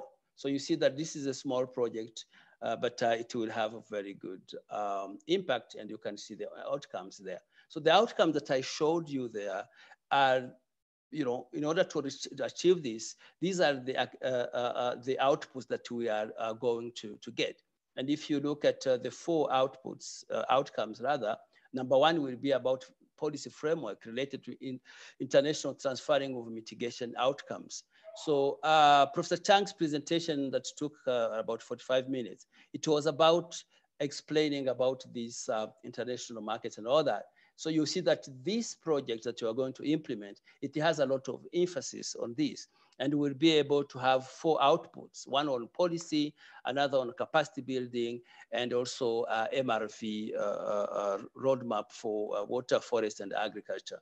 Um, on the uh, outcome number two, we do have uh, uh, institutional arrangement that will, will, in terms of like cross-sectoral land use planning implementation, because you know that these forests are planted on land. So this have to go hand in hand. As you look at uh, uh, outcome number one, you look at outcome number two. And in order to reach this, we will have about four um, outputs. And as you look at them, it will be coordination of sector sectors. Uh, for people who have been working with the government, this is one of the main challenges, cross-sectoral coordination, because all these uh, uh, sectors are interrelated, are interlinked. And if you don't do that very well, then you end up failing. Gender inclusion and trying to make people participate from the beginning and uh, benefits, people have to understand what are they going to gain there so that they can be able to get incentive to, to, to do the work. And uh, then we have to make sure that who's going to do that. So there will be discussion at that level for watershed use associations that will be able to carry out these activities. This is ownership is very important. So the last two um, the last two uh, outcomes. Uh, one, uh, the third one is site appropriate technologies, because in order to have all different sites like being well taken care of, you need technologies that are appropriate. Ethiopia has been planting trees for years, so these technologies are there. So we'll go through capacity building mechanism, targeting forestry and related institutions. We'll do forest restoration applied in, at lower level, we do integration of forest product value chains and also we'll do forest carbon hydrological mo monitoring systems. And the last one, you cannot, in order to have sustainability, you need to think about money. So what happens when this project will finish at the end of five years, we will need to have uh, prepared a way of getting green funding for continuation and covering more areas. So um, in order to have that project, as I told you, we had to see, is it a priority for the government? What, that, what do the national policies say? And we look at the CRG strategy, climate resilience strategy for agriculture, and NDC, and we realize that three of them, they are actually targeting what we will be doing. So we are in the right direction. But also we said, um, is this project aligned with the National Forestry um, Sustainable Development Plans?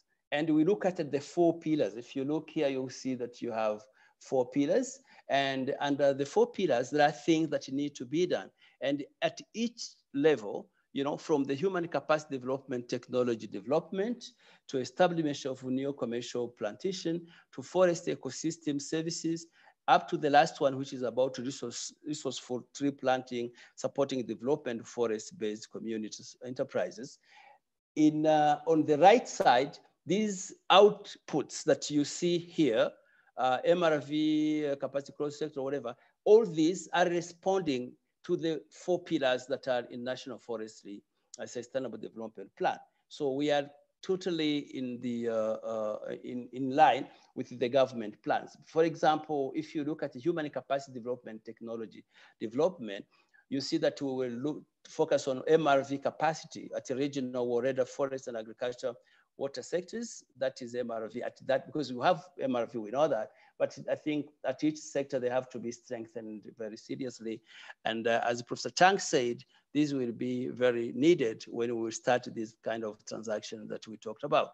Cross-sectoral coordination that I talked about, gender inclusive participatory capacity building on mechanism, including peer-to-peer uh, you know, where we tap into Korean experience and also uh, trying to understand capacity building for international carbon transactions. So this is for the human capacity. If you go to establishing new commercial plantation, you know that we will have it, we establish 4,000 hectares of community timber plantation.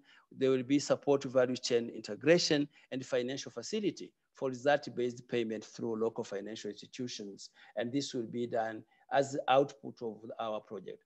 And if you go to the uh, down the, the, the, pillar number three, forest ecosystem services, forest biodiversity conservation, forest landscape restoration, which are really the uh, objectives of the pillar three, we would have 700, 7,000 hectares of assisted in new regeneration uh, through uh, exclosures as forest and landscape uh, restoration. I think um, when I looked, uh, I tried to read this because this was prepared by foresters and saw that uh, it, this is uh, exclosures are a lot used in uh, Ethiopia, so this is not a new thing, but the mechanism is already there. There will be modeling and monitoring of carbon and hydrological processes and also ad hoc financial mechanism support to implement uh, pay, pay for payment for ecosystem services scheme and PPP arrangement. And this will be supporting pillar three. And finally, supporting pillar four, we will make sure that uh, um, um, uh, yeah, the B BSM at Kebele and community level support forest restoration, institutionalize the strength, uh, that is like a watershed user association, women and youth forest uh, enterprises. This is in the document, but when people go down on the ground, they see the reality and then they adapt. It's not like establishing something new, it's trying to see what is in there and then uh, work on it. And also we will establish 2,000 hectares of community woodlands. woodlands. If you take the 2,000 hectares, 7,000 hectares, 4,000 hectares, you end up with 13,000 uh, uh, hectares that will be the uh, result of this project. So the project, uh, as, as in terms of tree planting and management, they will be divided into three, 4,000, 7,000, and uh, 2,000. So I think, uh, uh, given that we are in the period of coronavirus, uh, you cannot finish the presentation without mentioning uh, the, the, the, benefits that will come out of that, because this is a project that will start next year. And it's planned to involve young people, women, and other people in the rural areas at a level, at a lower, lower level, which means we will be able to uh, create jobs. Uh, and then also uh, the gender equality and social inclusion, because we said the, uh, the nurseries, and all these activities leading to forestry and all that, uh, to, uh, sorry, forest restoration will be carried out by those people who really need jobs. And uh, uh the benefit sharing also on the ground activities, we say that we'll establish the mechanism, uh, building on the experience, and at the end, creation and, and the capacity building of community enterprises that will provide services. So um, once you have the forest restored, and uh, you can have a lot of uh, benefits. But what is also important is that we are uh, trying to contribute to the uh, initiative that uh, was uh, declared by the Prime Minister on green legacy and also you know what comes out of the forest. Once you do the forest restoration, uh, you can make sure that you have all these uh, products uh, that can be uh, help timber and non-timber uh, products that will support the communities and also uh, the outcome that you know for the climate change. So I still have, I think, one minute and I would like to stop here and thank everybody who followed this uh, uh, presentation. I just want to mention that uh, I'm not a forester. Uh, so I made this presentation just so what, I mean, this project is going to bring what, but uh, it was very well, very well uh, studied. the consultations were very, very, very well organized because we did the first consultations with um, uh, all the institutions and uh, sectors that deal with forests. And we were able to get like a consensus really that this is a very good project. And uh, um, then when the team came from Korea for fact-finding mission, we visited World Bank projects that are almost similar, and we made presentations, and everybody liked this uh, project. So now the challenge is uh, the implementation that will start next year. But uh, GGGI will work with all you guys so that we can be able to have a very good uh, project. It's not small. A 12 million project is not very small. It's actually good. And then from there, we can even build up and get more money and, you know, more, make more and more uh, land restoration. So I would like to thank uh, the, uh, um, the team that organized it and uh, Professor Chung again, who really made the idea come out. I would like to thank KOICA, which is represented here. I saw Mr. Shin. Uh, we worked like closely and uh, we started almost communicating in Korean, you know, because we are together almost all the time. So thank you very much and uh, bye-bye. Um, thank you, doctor, for your um, productive presentation. And now I would like to give the floor to Professor Suh-Yong Chung for moderating the Q&A session. Uh, uh, thank you, Innocent, for your presentation. Uh, your presentation reminded me of the, uh, you know, hard time and activities that we had uh, earlier this year as a part yeah, yeah. of fact-finding mission. It was uh, one of the yeah. hardest tasks that I have ever been engaged with. And then I'm very happy to see that most of the words that we are uh, produced uh, still remain in your document. so, exactly. Yeah, I'm, I'm, I'm especially very uh, pleased to see your presentation. Um, as uh, Innocent uh, introduced, uh, this is the uh, you know very likely project that will be implemented from next year for five years by the GGGI for the government of the Ethiopia. And then um, every almost every component that we have been discussing about is embedded actually in this project document, right? The, my presentation on the, what I talked about 6.2 mechanism MRV, actually it's the first component as you may have noticed. Yeah. And then what the, uh, you know, Professor Son and then then Sawat and then Chris mentioned, uh, they are, you know, here and there, right? And then that it's uh, in the context of implementing CRGE as a best example uh, to implement actually Paris Agreement by one of the member countries of the UNFCCC. So I'd rather uh, congratulate uh, Ethiopia uh, to have this uh, very wonderful activity.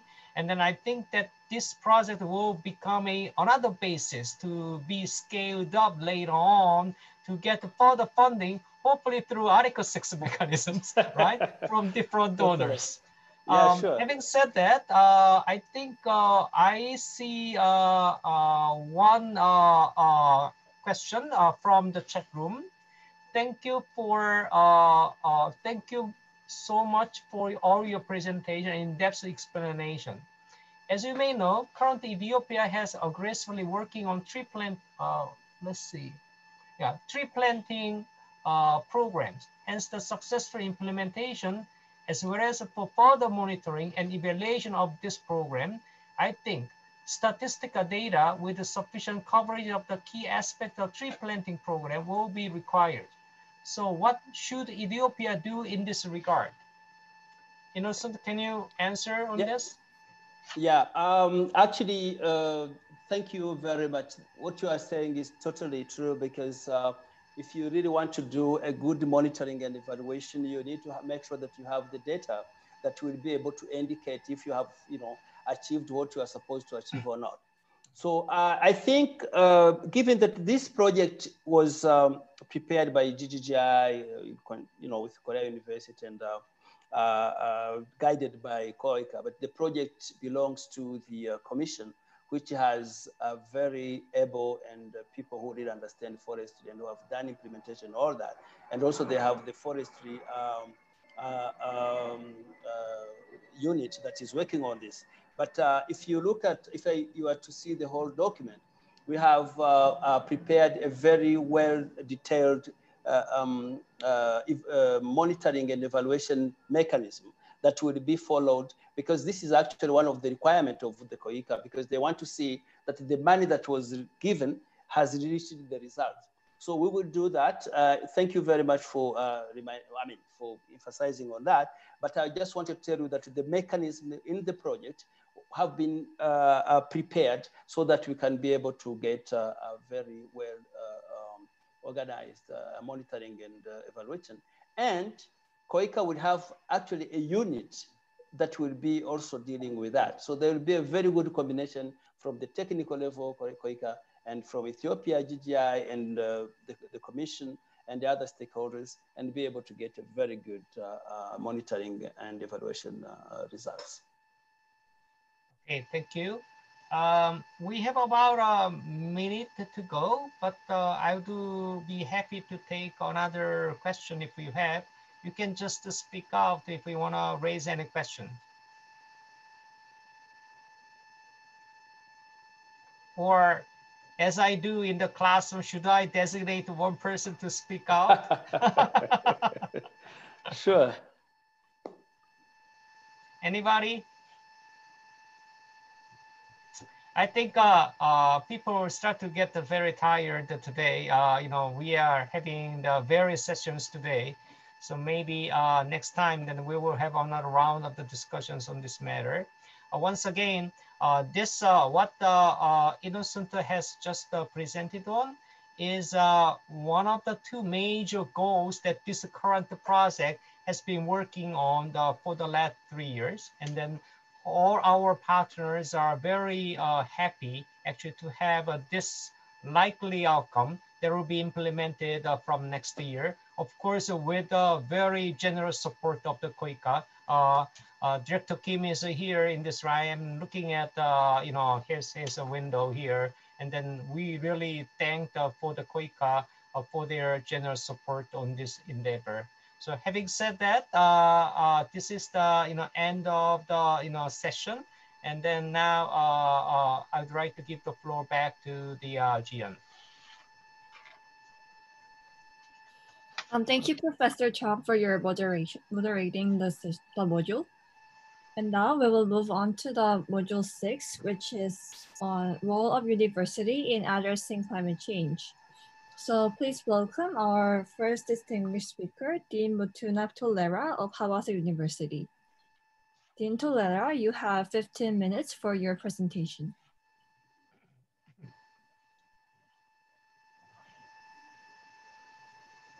Uh,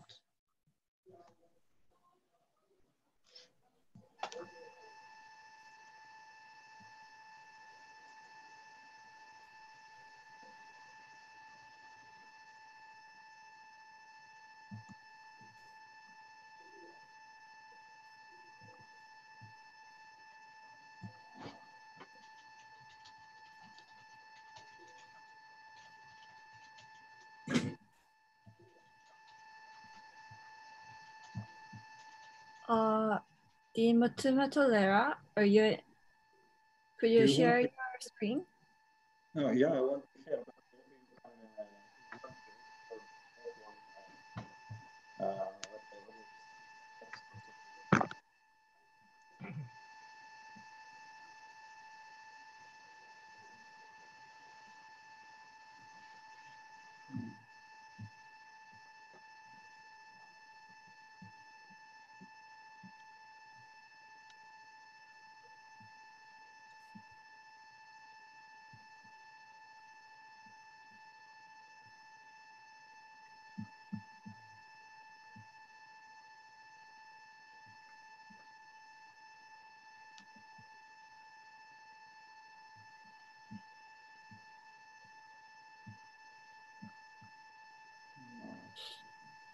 Um, Dean, do you need help in sharing screen?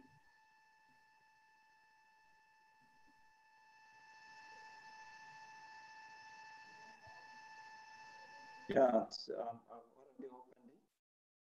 So I want to share it.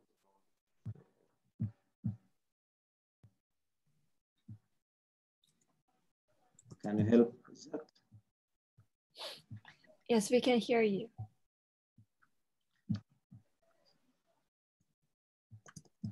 I think he needs help. Actually, Can you, Uh, can just Motuma. to what you sent to? Yeah, Motuma, you Okay. look down, look down on the green. There is Yeah. a share, share street or good. is it now shared? Yeah. It's there. Okay, thank you very much. Sorry. Uh, good afternoon, uh, everyone. Um, so, uh, within 15 minutes, uh, I will try to uh, present uh, the under uh, six, role of university. So, uh, next slide.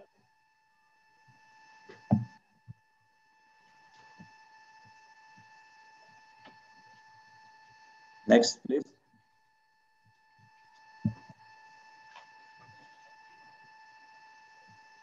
Yes. We are not able to hear you very clearly, so can you speak up? Yes. Uh, you, uh, you don't hear me now? Is it okay? Yeah, thank you. Okay.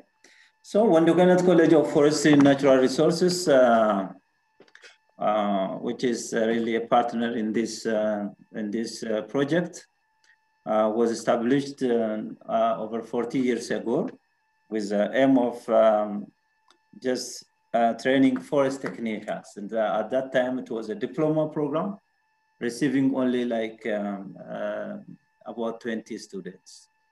And uh, over these uh, 40 years, it has grown to uh, the level of offering PhD program. And then it has got um, so many experiences in teaching, research, and community services in these and the areas of forestry and natural resource uh, management.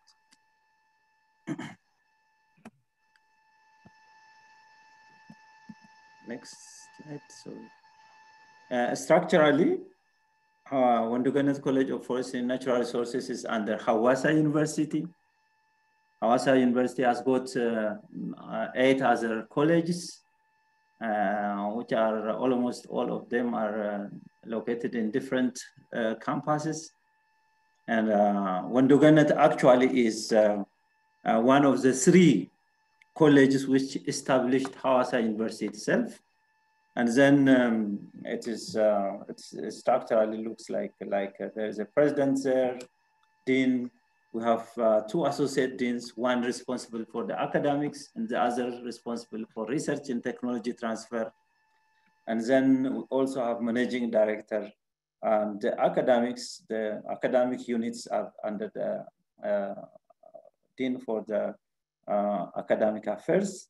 Research, community service, and technology transfer is under uh, associate dean for research and technology transfer. And uh, all these are supported uh, by the admin staff, which is under the managing director. And uh, so currently we have about 178 academic staff, which the detail of which is presented on the next slide.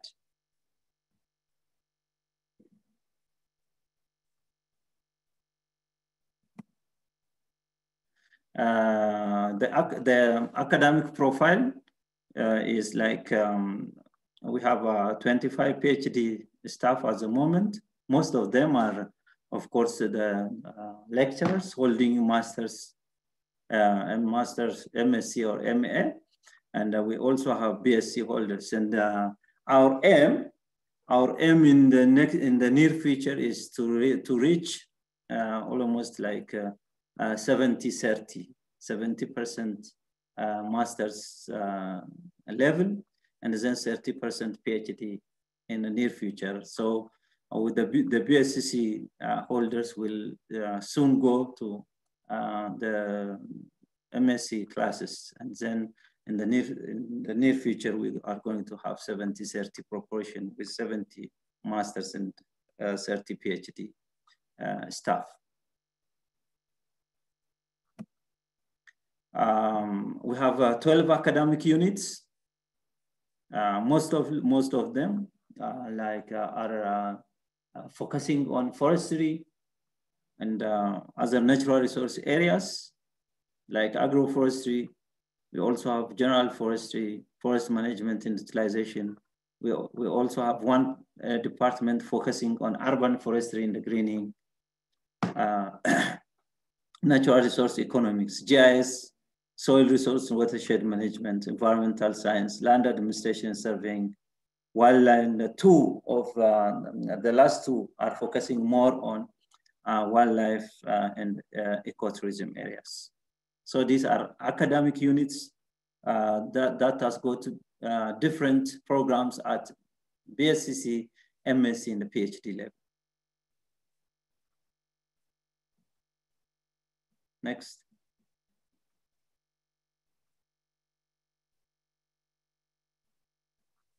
Uh, this this with this slide shows you about uh, our current the MSc programs that we have at the moment. So uh, I don't I'm not going into the details uh, like uh, um, some we, we we have climate smart agriculture, we have climate change in development, we have we have also forest resource assessment and monitoring, which is mainly focusing on assessment of greenhouse gases and and we also have renewable energy utilization management that's also focusing more on uh, measurement, measuring or assessing uh, greenhouse gases uh, that are related to uh, energy, the energy sector. And we also have others which are uh, related to wildlife, biodiversity, and GIS. At the moment, we, we have uh, two PhD programs, uh, PhD in climate change and bioenergy development, and PhD in agroforestry. PhD in agroforestry, actually, we are going to receive the first batch of students this year. And uh, uh in total, uh, for um, and at, at the moment, we have about 2,000 students. Our, most of them are uh, BSc, and uh, like uh, the last bar is uh, 25 PhD students. So this is the number of students that we currently have uh, uh, at, at our college. So you can, you can imagine uh, that the college started with about 20 students and then now it reached to 2000. Of course, the, the, the aspiration is to reach more, especially uh, focusing on, uh, on the postgraduate uh, studies. we, in, in, in addition to the teaching, uh, and then uh, the other mandate is conducting research and uh, community service activities. So I will more focus on this, uh, these two, and especially the last one, which is a community service in the last, in the remaining time of, my presentation.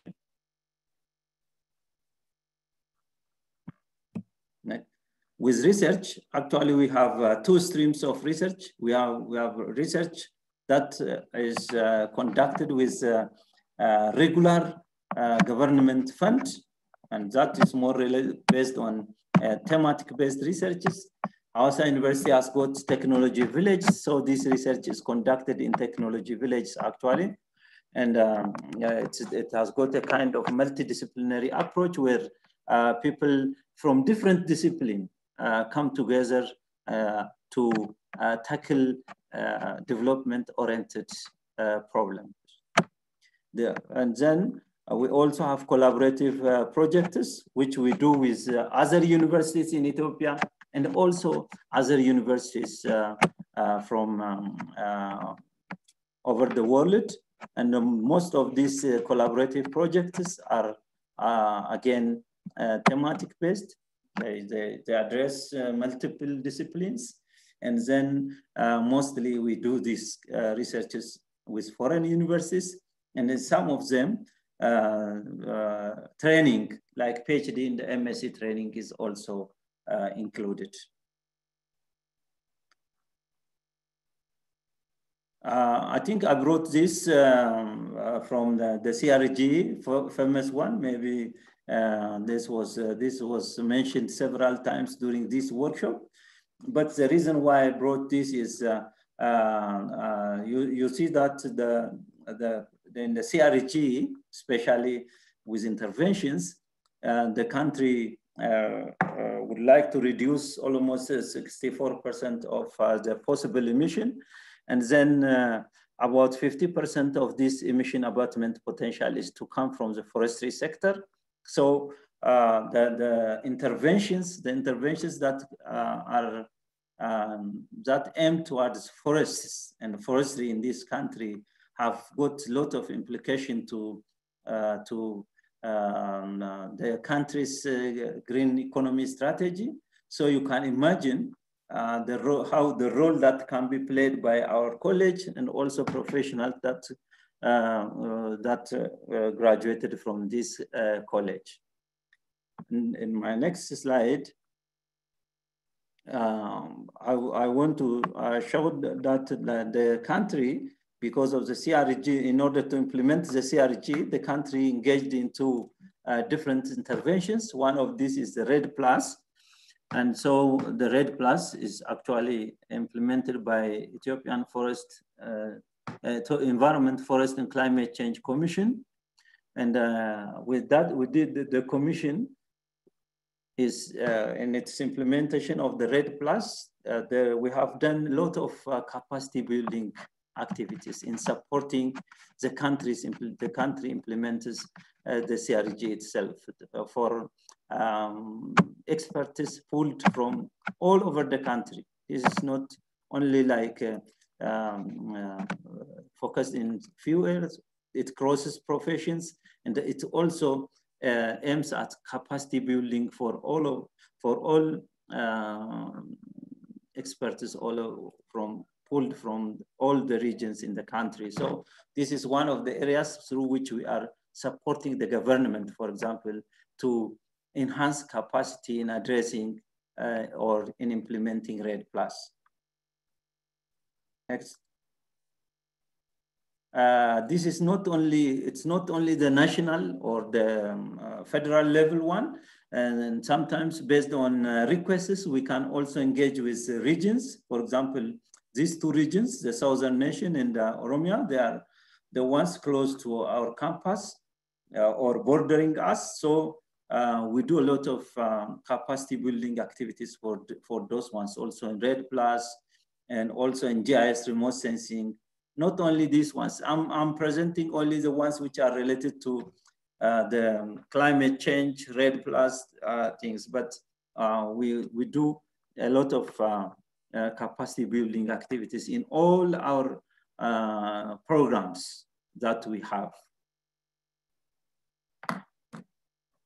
We, we, also, we also engage we also engage in, um, uh, in forest inventories, for example, nationally. We, we, we created platform for the trainings. We also contributed uh, expertise which led or which uh, were really consulting the team during the uh, forest inventory, which were re recently done.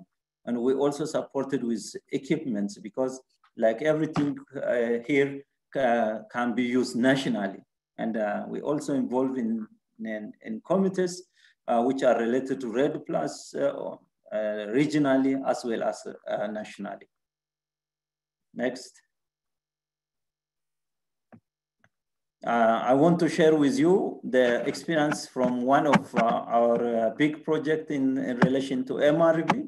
It is called National uh, uh, MRV uh, Project. Um, uh, so this is um, uh, this is uh, through the support of the Norwegian government, and through this through this project we have implemented many things so far. It is almost in the fifth year so far and, uh, and uh, at final uh, year. But um, we have done a lot of things with this project. And then I want to share with you on some of the experiences. Next. Uh, like for example, one of one of the uh, outcomes, one of the areas of um, intervention in this project was building the capacity of the college itself so through that, um, uh, like five of our staff are um, almost finalizing the PhD in, the, in different areas of uh, uh the, uh, like uh, forest resource assessment and monitoring. This is re in relation to MRV in, in area of forestry, and then energy, and then and also climate smart agriculture. Also, about 12, 12 staff have uh, been trained in these different uh, thematic areas uh, from for some months. And there are also research leaves and sabbaticals, which were included in, in, this project to enhance the capacity of the college so that the college can uh, better placed in implementing uh, national MRV capacity building activities. Next. Uh, the, the other is the, yeah, the other is uh, building the capacity, the, the, the, the expertise capacity of the, the, nationally. So for that, three MSc programs were, were opened through this, um, through this uh, uh, project. And uh, with this, they are all related to the three pillars of uh, CRG, forest, agriculture, and energy. And then through that, over uh, close to 170 MSCs have been trained by the college. Uh, even if the even if the the project is going to be closed very soon, the college has already hand over uh, took over these uh, three MSc programs, and then they, we have already made it part of our regular uh, MSc program. So we'll continue with receiving students and then uh, uh, building the capacity in this area for the for the future because this 170 is very small when we when we look into the size of the country. Next. Um, uh, the, the project is also supporting us in uh, uh, building and building different infrastructure in the, the laboratory, and also train short-term training is not only the MSCs nationally, and also we are also doing research on in the field on uh, different sites. Next. Uh, the other, uh, at, at the moment, then uh, our laboratory is, is equipped with different um, capacities. We can do greenhouse gas monitoring. We can also do carbon stocks. We can also do growth monitoring to look into sequestration potentials. So uh, the, the, the, we, have, uh, we have got almost a very, uh, we have got equipped laboratory to conduct those ones. And we are still building the capacity of our, our lab. The other, uh, I think the other experience, which I should not uh, uh, miss to share with you is uh, the, the, the this specific project itself, the climate change, the, pro the project on strengthening the capacity to address uh, climate change on forest sector in Ethiopia. This is specific one, which is supported by KOICA and implemented in collaboration with, uh, uh, with the Korea University and Triple GI and others. So in this project, uh, this project has also done almost uh, similar um, similar activities with that of MRV. It supported us with curriculum improvements and also uh, teaching materials which are being in use by different in, in different programs. Also, they have uh, supported us uh, with uh, um, laboratory equipment, especially uh, which are helpful to measure uh, greenhouse gases, especially carbon dioxide from uh, agricultural fields. And also this, like that of the two days workshop, which has already, which, which was also conducted before, is also paramount importance in building and the strengthening capacity of the government officials. And uh, there are also uh, supports with regard to uh, research uh, for MSc, PhD, and the staff. So uh, the, the, uh, this is also one of the very important projects that I can mention in, in this workshop. Next. So this is uh, these uh, pictures which you see uh, in different uh, Uh, panels. This, uh, the first one, for example, is uh, uh, training for our MSc students by professors from Korea University or from Korea. And then uh, the one which you see uh, under uh, the first panel is also equipments to measure when when we were handing when when we were receiving support from KOICA on equipment that uh, are useful for measuring greenhouse gases. And uh, the, uh, the right top, also a workshop, training workshop, which was conducted at Haile Resort in Hawassa, which was very important. The other one also uh, like field demonstration of the equipment. So uh, this, uh, the teaching materials, trainings, the equipments, they are all uh, being used with, by our students at master's PhD level, as well as uh, by our staff. Last, uh, this um, uh, this is this collaboration is growing. Like you have you have already uh, seen the presentation from Mr. Innocent uh, from the Triple GI. So we are also uh, looking forward to look to work with Triple GI and others in, in also implementing this project. Next. We have uh, collaborations with uh, many uh, universities all, all over the world, all over the world, I can say and most of them are most of them are in the areas of climate change mitigation and adaptation. Next. So with this, uh, uh, i think I've already uh, showed you uh, that uh, the Wondo Genet have uh, Wondo Genet has uh, built its capacity over the last 40 years we feel that uh, this is uh, already center of excellence uh, nationally in the areas of natural resource and forestry and natural other natural resource uh, management areas.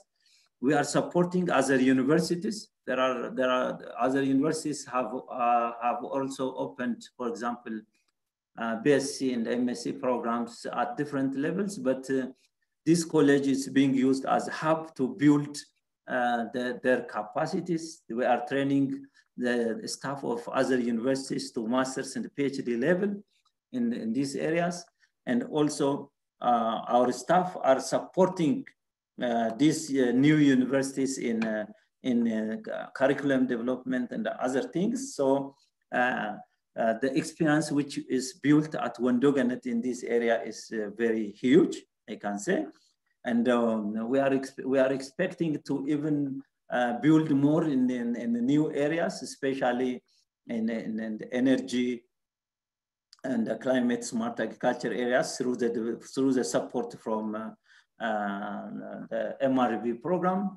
Uh, so so we, are, we feel that we are already like a center of excellence for this, but we want to uh, get accredited in for, as a center of uh, excellence in uh, MRV and other forest management areas, not only nationally, but also at East Africa level. So we, for that, we are working with um, Professor Chung through this project. Uh, and and uh, we are expecting uh, some outcome very shortly on this one. So the commission is also very helpful, helpful on this. They have already uh, attested that they, they support us, they help us in any, in any uh, uh, activity or in any journey uh, that Wondo Genet is doing to, re to reach to that level. And uh, so the university is also supporting us. This is already in our plan in, in, in, in, for this year.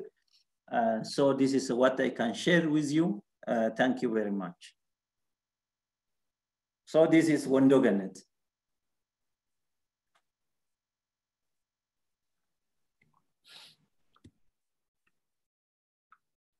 Um, thank you, Dean Tolera, for your presentation. And now we'll like to welcome Professor David Keyes of King Abdullah University of Science and Technology. So Professor Keyes, you have 15 minutes for your presentation and the floor is yours. Thank you. Uh, so, colleagues, first of all, I would like to begin by congratulating uh, the Dean on founding Wondo Genet and on building up to 2,000 students in 40 years.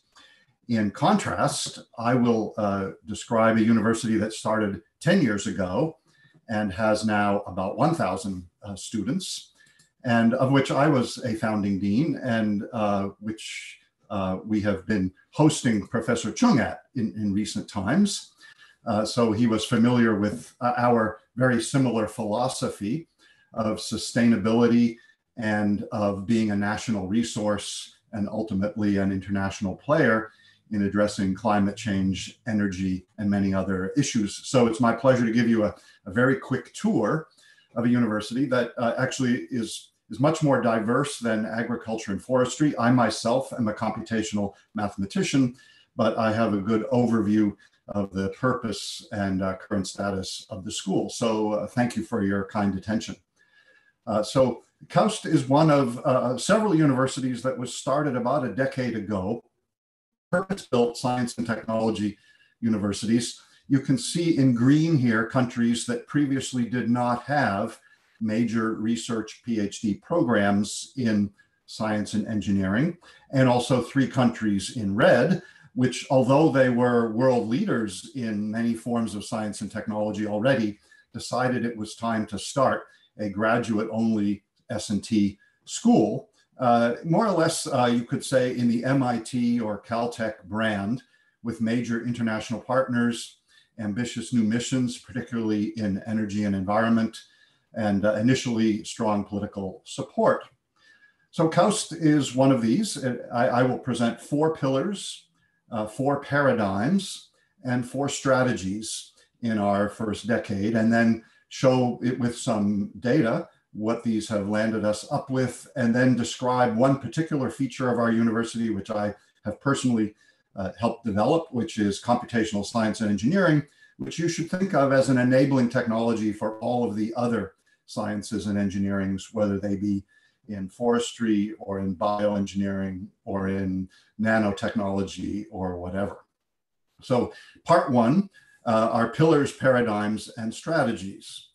So here is the logo our university, and uh, I will interpret it in four different ways. I will interpret it as representing the four research pillars, uh, energy, environment, food, and water. By the way, these are seeds in those pastel colors, and that's a lens that uh, indicates the, the scientific study of these uh, four seeds. The way I prefer to think of our logo is in terms of the ways of knowing, the ways of doing uh, scientific discovery and engineering design, namely theory, experiment, simulation, and big data. And as I've animated these four ways of knowing, I've put a timeline above them so that you can appreciate that theory is really a couple of millennia old, going back to the Greeks who theorized a lot about the atomic structure of matter, but did no experiments. Then we could say modern science began with Galileo and the corroboration of theory and experiments a few centuries ago, and simulation about 50 years ago, mainly in the US Atomic Energy Commission at first, and now big data, which is such a commercial success that all five of the largest companies in the world listed publicly are essentially big data companies worth a total of $4 trillion between the five of them. So a very recent addition to our ways of, of doing uh, science and policy. So most of the world's great research universities were founded after the Humboldt model in Germany in the 1850s, where graduate education and research were unified. And uh, only a few universities have been started since the addition of the last two paradigms, which means that most of the world's great universities are, if you will, firing on two cylinders in the way they are academically structured, budgeted, hired, populated, and, and oriented in their degree programs. Whereas KAUST and some of these modern universities built downstream of the revelation, uh, revolutions in simulation and big data have what I like to say a four cylinder approach to their research.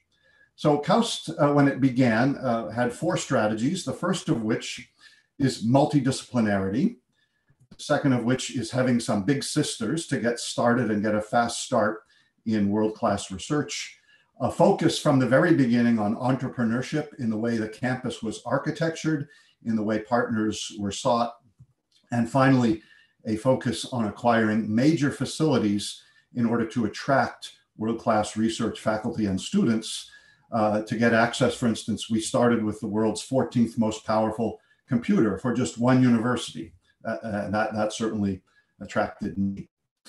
Uh, our, the multidisciplinary strategy is really a way to, to advance faster than the existing universities by going where they haven't been able to go easily to the areas between traditional disciplines. In particular, science and engineering are administered together. They're not in separate colleges under separate deans. They're equals, they're not rivals.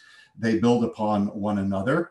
Mission driven research centers were created outside of the departments, and that's where the major funding of the university goes in order to attract the scientific collaborations of uh, the departments who make themselves useful by addressing these missions in energy, environment, food, and water.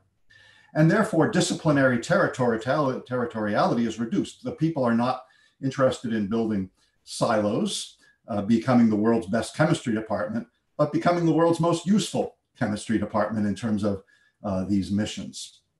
This is a picture of how we stand today with 11 research centers listed down the left-hand column, and three academic divisions, biology and environmental, science and engineering, computer, electrical, and mathematical, sciences and engineering, CEMSE, and physical sciences and engineering.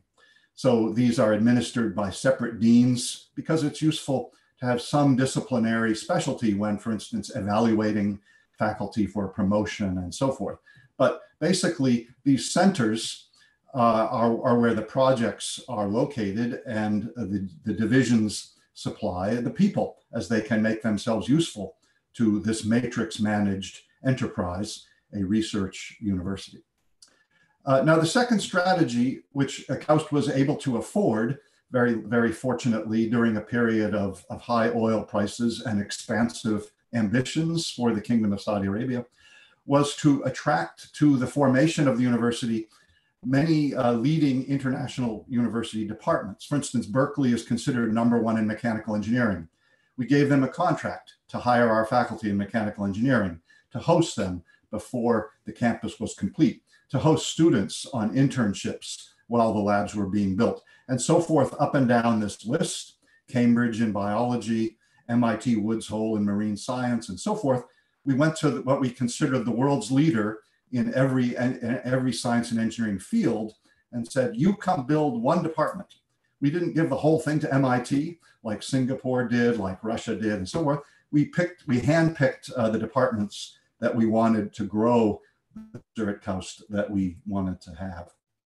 We also gave smaller research grants to individual experts from around the world who represented fields that we wanted to grow into, like, uh, for instance, uh, battery technology or uh, green cement or clean combustion, uh, uh, things like that, that would uh, plant pieces of, you know, centers of expertise within the campus. The third strategy was to engage from the beginning uh, multinational corporations by building them a park. So within our large campus, we set aside about a third of the campus to host industries that wanted to locate their research efforts within the Kingdom of Saudi Arabia and the Middle East more generally. And they were given privileged access as early tenants if they would bring their research to our campus. This is very useful because students can stay within their dormitory and do an internship just across the campus with a major multinational like IBM or Boeing or Siemens, etc. And uh, at the bottom, you see four Saudi agencies, most of which did not exist when KAUST started. But when KAUST began to draw these international partners to the country and create the sustainability technology vision, uh, these parts of the government were created. The King Abdullah Petroleum Studies Research Center, KAPSARC, the King Abdullah Atomic and Renewable Energy Center, KCARE, and the Industrial Clusters uh, Program. we want uh, that uh, our, our campus will, will uh, be driven by industrially translatable research. We provide students and faculty and postdocs with short courses, with seed funding, with expert staffing for intellectual property protection, patent filing, fundraising, and so forth to be venture capitalists in a country where almost all the investment used to go to malls and real estate and now attracting it to research and development. Uh, and just as an example, as I mentioned, I was a founding dean of our first five startups. Four of them were in the IT sector. IT doesn't take much effort to, and doesn't take much money uh, to get started in. Uh, but these are most, you can see the variety. Two of them were started by students, one by a faculty member, two of them by research staff. In fact, one of those staff was a high school science teacher who invented a waterless cleaning for solar collectors. And that company is now very successful, has raised millions of dollars because water is scarce in the place where you can most profitably put solar collectors, namely in the middle of deserts. Uh, our facilities are world-class, supercomputing, scientific visualization, CAVE, nanofab, DNA sequencing, electron microscopes and NMRs in imaging and characterization, a marine going vessel, a greenhouse for plants, a mouse house for animal experiments, and of course, a, a machine shop. This is our favorite facility. This is the Red Sea. Uh, it was a previously undiscovered, it's really the last undiscovered body of water on the earth, rather tightly guarded by a handful of countries that don't trust each other very much. But Saudi Arabia has about half of it by land border. And uh, we have collaborated with Woods Hole in discovering it together and publishing a lot of very influential science papers and attracting the world's leading marine scientists as a result. And this is our vessel to uh, plumb the Red Sea. This is our supercomputer on top and our uh, some students in our visualization cave, a six wall cave in which you walk in with glasses and immerse yourself and explore various things like you know, the cells in the human brain or the flow patterns in a furnace that you're trying to make more efficient or, uh, you know, chemicals in a, in a biological soup or whatever as they're being simulated. You can't just buy equipment, you have to train experts to use the equipment. So this is the supercomputing lab staff. It was trained by IBM and brought to KAUST at the very beginning. I'm very proud to mention to my Korean colleagues here that the director of this laboratory was recruited from KISTI, the primary uh, computational facility in Korea. We were able to attract him to a bigger computer uh, at KAUST, and he has built and trained a wonderful staff. So you in Ethiopia have found uh, a, a, very a good national partner, in my humble opinion, so far. Well, what has happened in 10 years? Uh, we have about 150 faculty, about 1,000 students, but the, the major thing to point out is that the students are matched nearly one for one by professional researchers early in their careers, about 500 postdocs and 300 research scientists. That includes the people who run these uh, facilities. Most of those research scientists are PhD trained in their areas of expertise. We are, are living together with about 7,000 of our family and community support members. The university employs about 2,000 of those. We have more students in our school than in our university. We've had, uh, you know, the young, uh, the young members of the team have had a lot of children. we draw our community from 110 countries, uh, and the workforce includes 80 countries. The other 30 are where the students are from.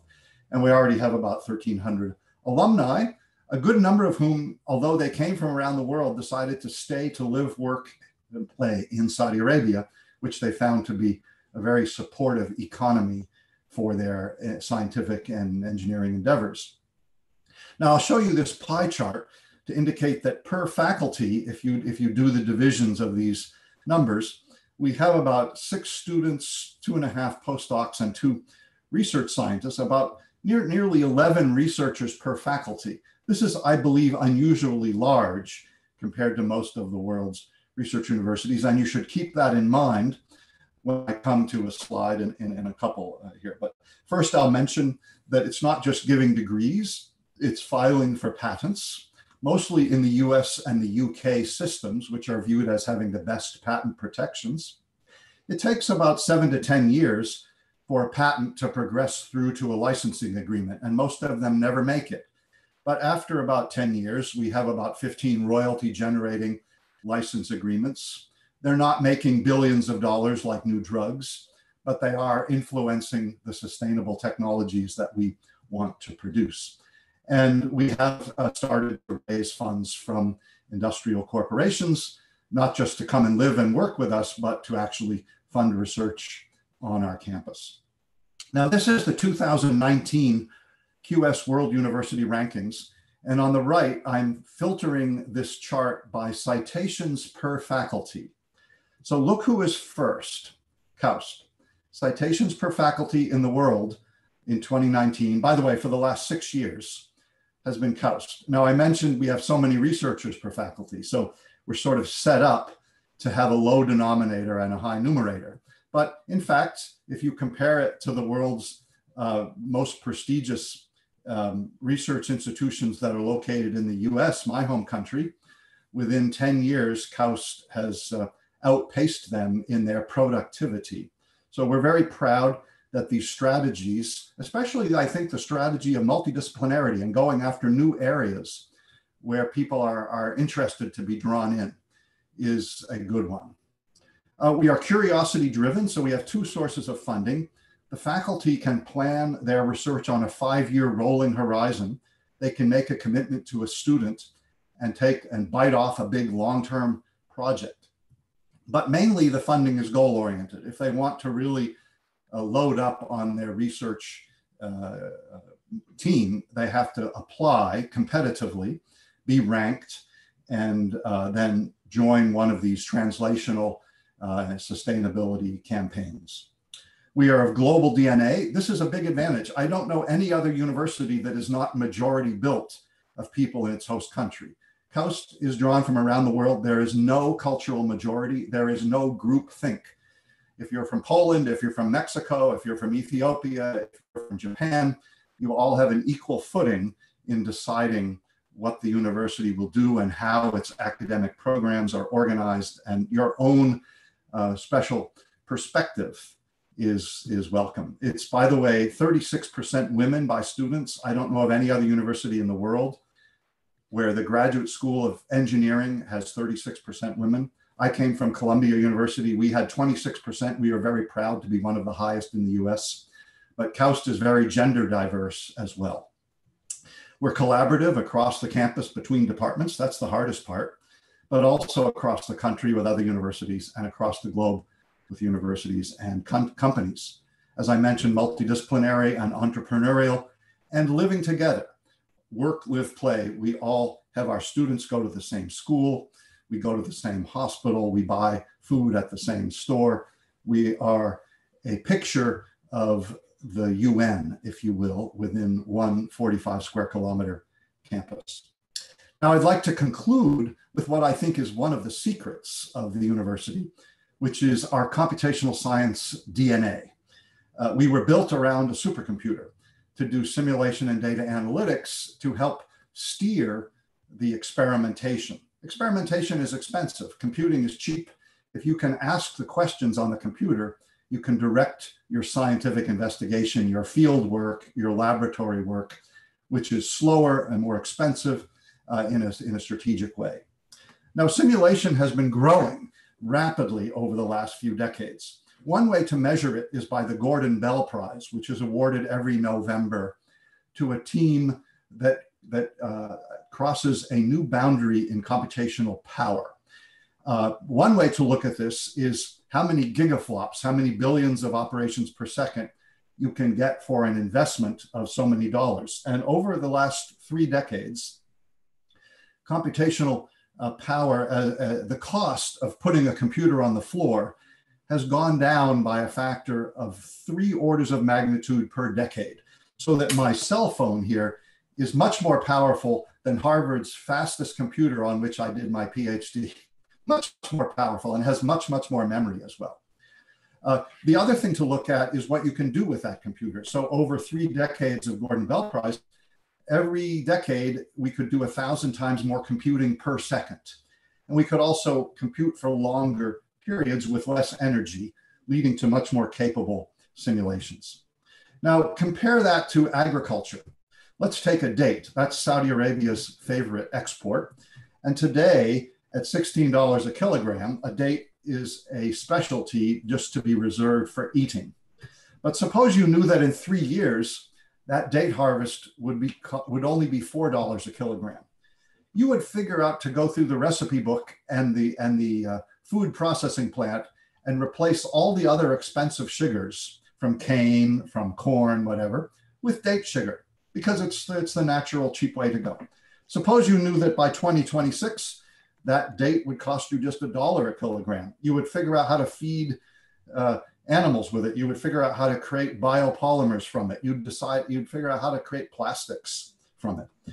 Suppose that this trend continued, you'd eventually use it as a fuel or as a paving technology. So what's my point here? Not that dates are on this curve, but that computing has been on a curve much better than this for much longer than this. And in many ways, the rest of the world knows this. Bankers know this, Hollywood knows this, businesses know this, communications companies know this, transportation companies know this, but scientists and engineers don't know this. Scientists and engineers are very conservative. They keep doing their research in the old way. They don't trust computing to take away their turf. Well, KAUST was created to, to reverse this cultural prejudice and to make a premium on reproducible, uh, reproducible computing and to uh, really try to change this scientific prejudice against the tool that scientists actually invented. Now, think of other technologies and how they compare with computing. If we had planes flying a thousand times faster per decade for the last two decades, then the 15 hour flight between New York and Tokyo would require only 1 20th of a second. Did we have that improvement in the aviation industry? No. It still takes 15 hours. And by the way, even if we had it, we'd still wait three hours in the airport for our 120th of a second flight. But that's the IO problem. That's, uh, that's still slow distance. If similar advances in storage had been created in the library or uh, you know, bibliography industry, then the entire US Library of Congress could fit in our offices. Can we do that? No. If similar reductions in cost had been applied to the educational industry, then at uh, um, then the uh, uh, cost of um, school in the U.S. today, which is in the fifty thousand dollar a year range, would be about twenty cents. That cost improvement has not come to higher education, but it has come to computing. And this is because simulation has become an imperative to do things that other fields find more difficult. For instance, some experiments are controversial ethically. Some experiments are dangerous environmentally. Some experiments are prohibited legally. Uh, some experiments are difficult to instrument engineering wise. Some experiments are just too expensive to build, like the International uh, Thermonuclear Experimental Reactor being built in France right now by more than half of the world's taxpayers. It was supposed to cost $4 billion. It was supposed to be done a few years ago. It's now costing $22 billion. It is not finished. Nobody knows when it will be finished or whether it will work. But uh, computing is, uh, is charting its, uh, its path. So there are really two frontiers in simulation. The traditional one is to do uh, more and more exciting problems for a small number of very smart people.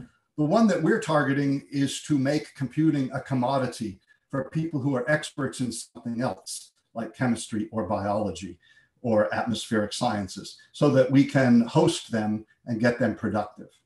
Now, one example is Saudi Arabia's number one industry, the oil industry. You see here on the upper right a map of the major reservoirs of oil and gas in Saudi Arabia. And you see the world's largest reservoir, Ghawar, which has been delivering 5 million barrels a day for about 50 years and still pumping. And uh, that Ghawar is very well studied computationally. Uh, you see it imaged on the left. And one way that uh, computing is helping the Saudi oil industry is by getting more and more resolution. So on the left, you see what they could do in 2010.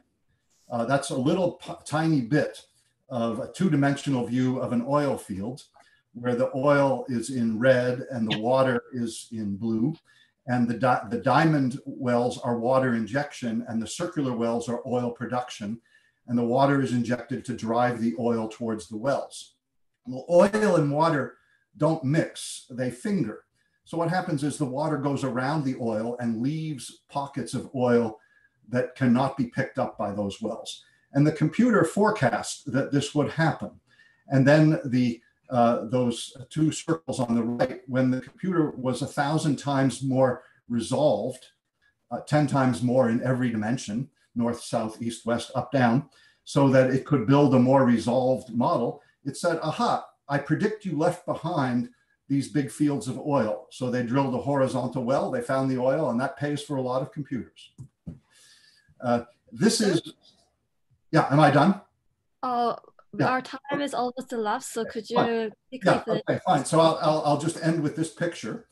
Since this is a, a, a meeting about climate change, we have a Nobel Prize winning climate scientist at KAUST, Gira Stenchikov, whose specialty is aerosols, uh, how, how the world's atmospheres transport aerosols from one country to another, maybe deposit the desert in the ocean or whip salt from the ocean onto the desert or whatever. These are very important uh, things to understand for renewable energy, for agriculture, for um, international treaties, for deciding what countries we need to help. For instance, if we burn down the Amazon, are we polluting Africa by the winds? You know, these are important uh, questions to run models on. We don't want to do the experiment.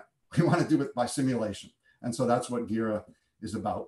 And this is our overall uh, computing agenda. I won't go into the boxes which describe uh, the modalities, the math models, the sciences, and the customers at the bottom. But I will just conclude by you know, trying to inspire you that instead of building ivory tower universities, we should build entrepreneurial universities. Instead of building the tallest silos, we should cross the silos and translate science to sustainability. And when you do that, you have a chance to leap over the existing universities and research establishments that are very successful in their old ways and not very willing to change. So, shukran from the shores of the Red Sea. Thank you very much from uh, my, my base of operations uh, in the US during COVID-19. And my best wishes to uh, our community. Um, thank you, Professor, for your presentation, and sorry for interrupting. No, I'm, I'm glad you called my attention to the to the escaping clock. thank you, Professor. And now I would like to once again invite Professor Suh-Yong Chung for moderating the Q&A session. Well, um, I think uh, uh, if, if uh, we want to have a full discussions on the, you know, very uh, related issues that you might want to raise, then, then we need to stay all night long.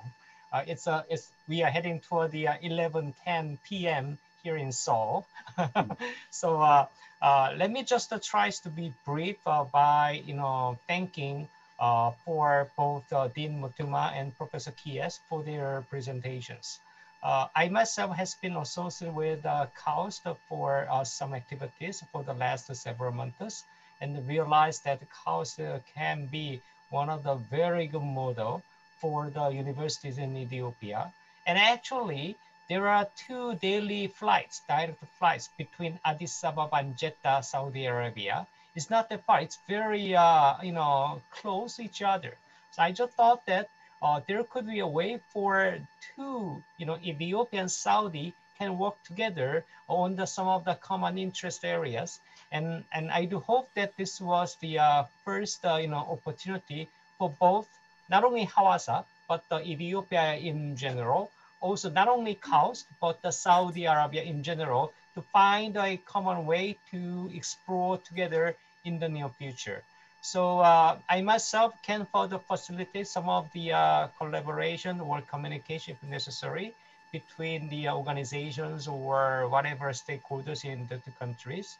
And then as we are running out of time, unless you have any burning comments or questions, I'd like to close uh, this session by thanking both uh, Dean Motuma and Professor Keyes for your wonderful presentations. So uh, thank you very much.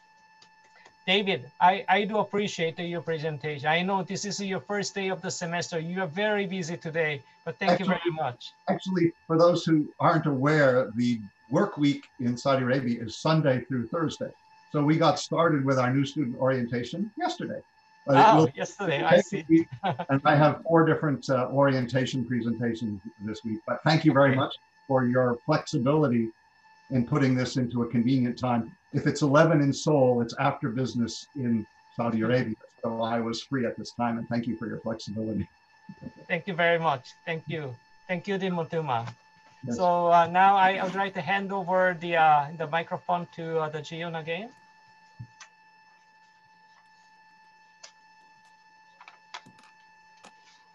Um, thank you, Professor, for your moderation.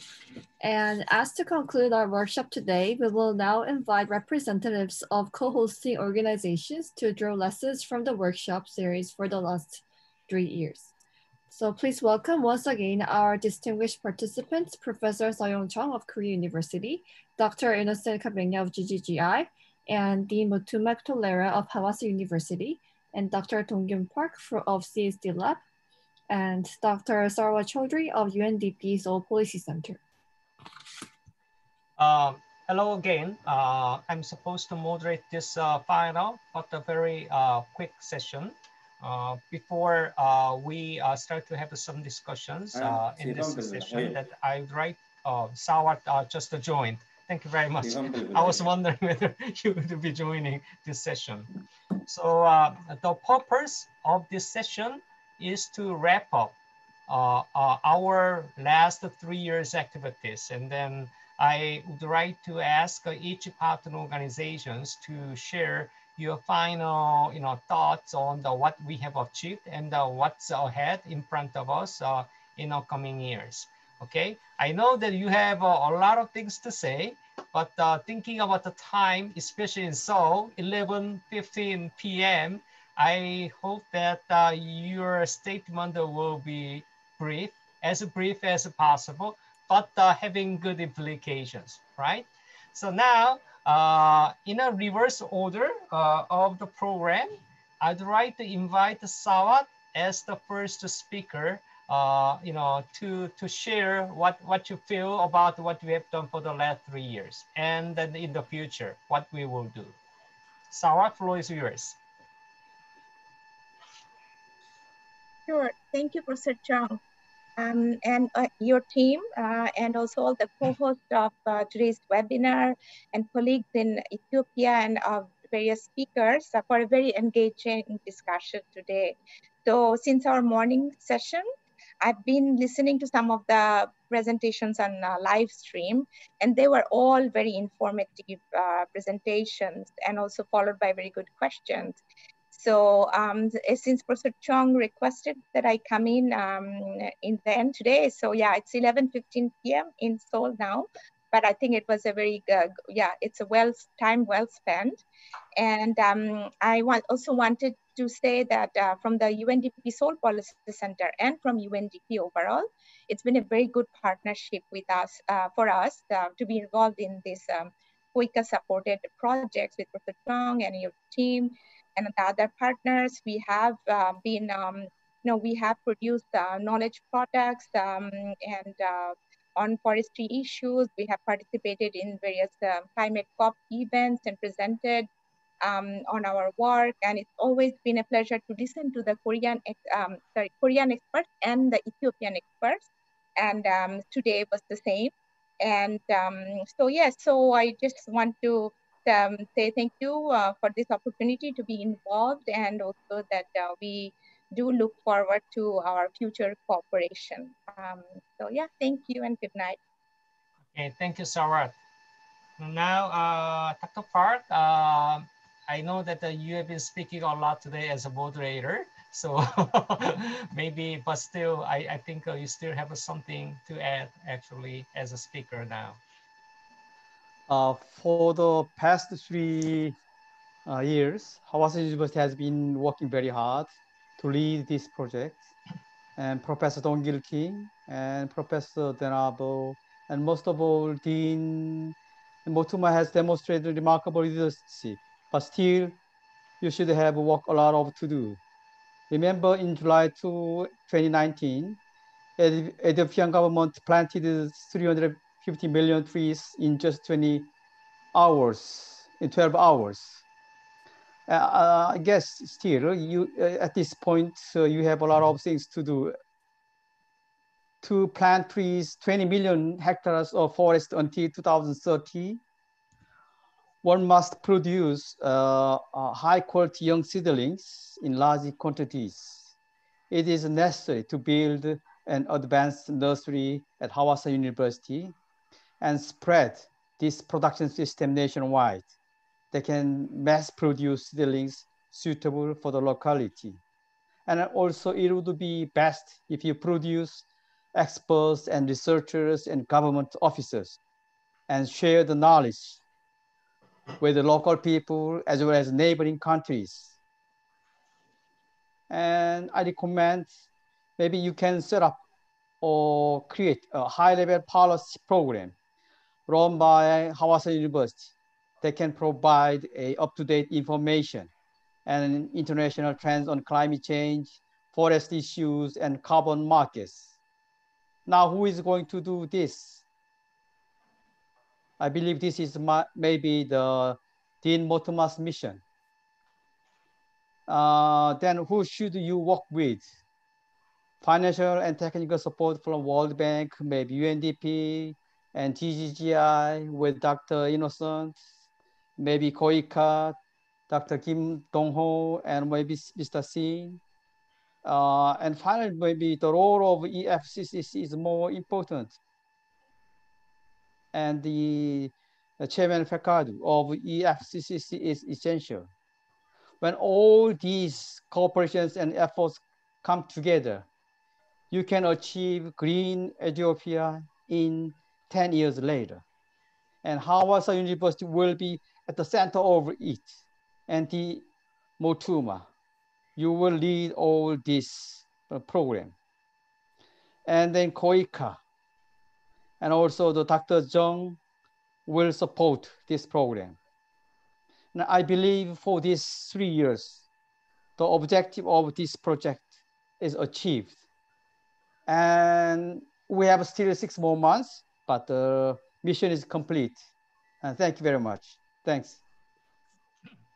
Thank you, Dr. Park. Uh, as an expert, uh, he has been the country himself uh, to a large extent to implement uh, this project. And he never said no whenever I asked him to help me on any matter. So having said that, thank you very much for your you know, friendship and then your dedication and then, then your guidance all the time for all of us uh, up to now. My pleasure, anytime. Okay. Now, uh, I'd like to invite Dean Motuma uh, for your final words. Okay, uh, thank you very much. Uh, I think um, I've uh, included some of it already in my presentation, uh, that the whole objectives of this project were very much in line with our, our goals and missions, which are more rotated, rotating about, around teaching, uh, research and community service. So I can say that uh, the uh, different activities of this project have touched upon all these missions and goals, and they were also very fruitful. And uh, I, I, I, I, want to also mention uh, the, the effort through this project, uh, the effort made to bring our college to international um, level uh, conferences like COP, where uh, the activities of our, our, uh, pro, our college was also presented. So I think the most important thing which I want to emphasize and which we learn it, which others in this room also uh, should, uh, I think, take a note is uh, this project was a three years project. And even under difficult situations like the, the pandemic, we have held, this is a second online event. So it was very strict and um, uh, on time. And uh, I think uh, timely accomplishment of projects is something that we can uh, learn from lead, your leadership, uh, Professor Chung. Thank you for that one. And um, this, is, this is not only for our college specifically, but the issue of climate and forest is, uh, is also very critical for for our country. This is where we are really intervening at high level. Uh, so this high level workshop which in, involved capacity building for government officials was is is really a very good model that, that which is which needs to be uh, scaled up. And um, of course, this is already taking us to another new collaboration, and we have to really uh, look for even more collaborations between uh, uh, Korea University, like what Dr. Park said um, a few minutes ago. more collaborations of capacity building, sharing exp Korean experiences in, in the areas of forestry in more elaborative way and reaching this out to the ground, the grassroots level, and to other even collaborators with us is very important our, our college and our university, I can uh, also uh, say our university as a whole, will, will always be very uh, happy uh, for uh, what have been achieved so far. And uh, this, this laid a very good foundation in our, in our college. And we look forward to work with you all in the future. Thank you very much. Thank you, Dean Motuma. Um, Dean Motuma has been always uh, dedicated to implement this project.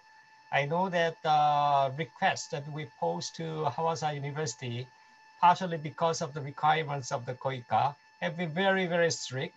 And uh, he never uh, said no, right? Uh, he knew how to find out the solutions to address the challenges. And of course, we teamed up to do so, but without his uh, leadership, even without his network that he has in Ethiopian society, I don't think uh, this project could, uh, could have achieved the uh, planned goals that uh, we did actually now. So having said that, thank you very much. Now, I'm very pleased that uh, I, I found the friendship actually in Ethiopia from you. Thank you very much. Now, uh, I know that Innocent doesn't like to call as a doctor, but uh, I'd like to call the Innocent as the Dr. Innocent Kabenga uh, country representative Ethiopia of the GGGI for your final remarks. Innocent, floor is yours. Uh, thank you, Professor Chang. The reason I don't take doctor is because I, I dropped my PhD in Sweden some time back. So I'm Mr. Innocent Kabenga.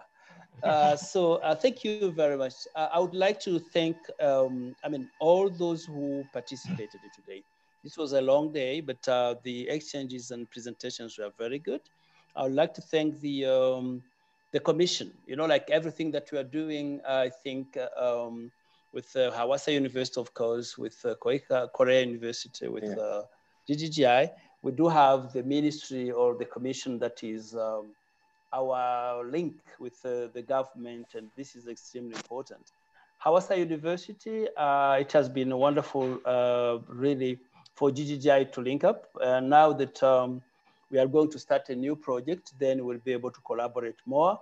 Korea University and the Center for Sustainability uh, that um, uh, is represented by Professor uh, uh, Chang. I really, really, really want to thank you, Professor Chang. You are the one who initiated all this. And uh, I'm very happy because the three years program that we had, project, if you want, that is, we are concluding today, has a lot of fruits. And one of them is the 12 million project that I presented today for um, sustainable landscape restoration in Ethiopia. And this will have more ramification. So I think this project was extremely important. I joined two years ago uh, when I came from uh, uh, Rwanda and uh, I, I arrived in June and end of August, we did the second workshop and I have seen the publications and now we have this project and knowing all of us like this. And I'm really happy that we'll continue to collaborate for the next five years through this KOICA project. Then I would like to thank Professor uh, Chang for bringing a new uh, element, you know, like the introduction of uh, KAUST University and the pre presentation that was made. This is something extremely important that uh, we don't need to to stay like in one area where we don't collaborate or think, understand or think about what the other people are doing. And also linking like two countries. And I'm sure uh, Pro, uh, Professor Motuma from here, he has seen what, how he can link up with uh, this university, which is highly ranked to some uh, universities of science and technology in Ethiopia. So um, just stay well and it's just uh, bye-bye, but we are still together for the next five years or even more. Thank you. Uh, thank you, Innocent. So uh, uh, I, I don't think uh, I have uh, many things to add uh, based on the, what all the colleagues has mentioned. So basically, it has been wonderful. It has been enjoyable time for us to get together. We identified big challenges. Also out of it, we found opportunities and we made it as real. And then this will be still a starting point for the bigger opportunities that we can, uh, you know, identify in the near future. We have now new partners. Uh, I'm not necessarily talking about the partner organizations here. I, I am talking about everybody in this room. And then without uh, anybody uh, uh, in this room, I don't think we could have done this. So uh, in that sense, I have a you know privilege to be part of the, this wonderful journey. Uh, this is the uh, end of the present uh, workshop. Once again, final outcome out of this project is to provide the policy recommendations for the government of Ethiopia. That's uh, the project idea that we have been talking a lot this year, uh, today. And also, uh, you know, Hawassa University plan to become a center of excellence. And two final outcomes will be finalized by the end of this year uh, along with other you know activity outcomes that we have built uh, for the last three years. And then you know I'm sure that we will meet again next year to have uh, better topics to discuss about. Maybe with a bigger participation of the KAUST, right? Uh, you should visit the cows KAUST campus. It's wonderful. I've been there several times, and then and then unless you would be there, you would understand what I'm talking about. So you know, this will be another chance uh, for us to get together to build a bigger community of uh, this uh, climate and environment in general. having said that, uh, I know that uh, uh, Mr. Dongho Kim is uh, here still. Uh, would you want to say any final words, uh, you know, if we want?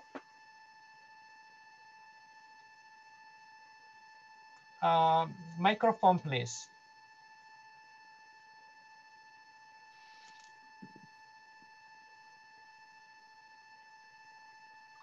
Okay, I'd like to say that with my sincere heart, my great congratulations to all of you, especially to uh, Korea University and also Hawassa University, also to uh, GGGI and uh, UNDP. So um, even though it, it is very late uh, time in, in Korea, so we uh, finally uh, get to the conclusion. So I'd like to say my great congratulations, also my great um, um, applause to all of you for your uh, successful um, completion of these three uh, projects. So uh, this is not the end of our uh, program for the climate change response and the other kinds of environmental uh, uh, projects. So as you, as I mentioned, um, one of the four major pillars will be green economy and the climate change uh, response. So we will do our best to promote uh, and expand our uh, current and future cooperation in that field. So I would like to uh, say that I will very much appreciate if you continue uh, providing your uh, great support to this project. So uh, thank you so much for your active participation and thank you for your uh, great uh, and very enthusiastic um, participation and a good uh, uh, conclusion. Thank you so much. Thank you very much. he was the country director of the KOICA in Ethiopia. So I think it's time for us to conclude everything. The, my final, final word is I should thank for the, all the, the staffs who have been uh, actually working really hard to organize this, uh, this workshop.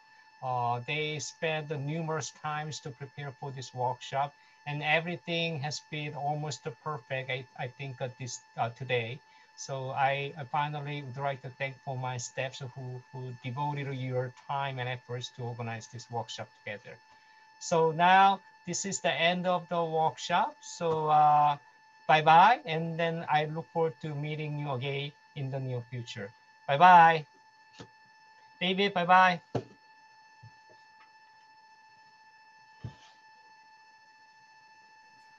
Um, hello. Thank you, Professor Chung, for concluding the Module 7 and distinguished participants for giving your concluding remarks. Um, ladies and gentlemen, so we are we would now like to declare the official closing of today's workshop. And we would like to once again express our thanks to our most distinguished speakers who have spared their precious time to contribute to the workshop. And also we appreciate our trainees' passion and patience for on today's workshop. So before we are dismissed, we have uh, very important notifications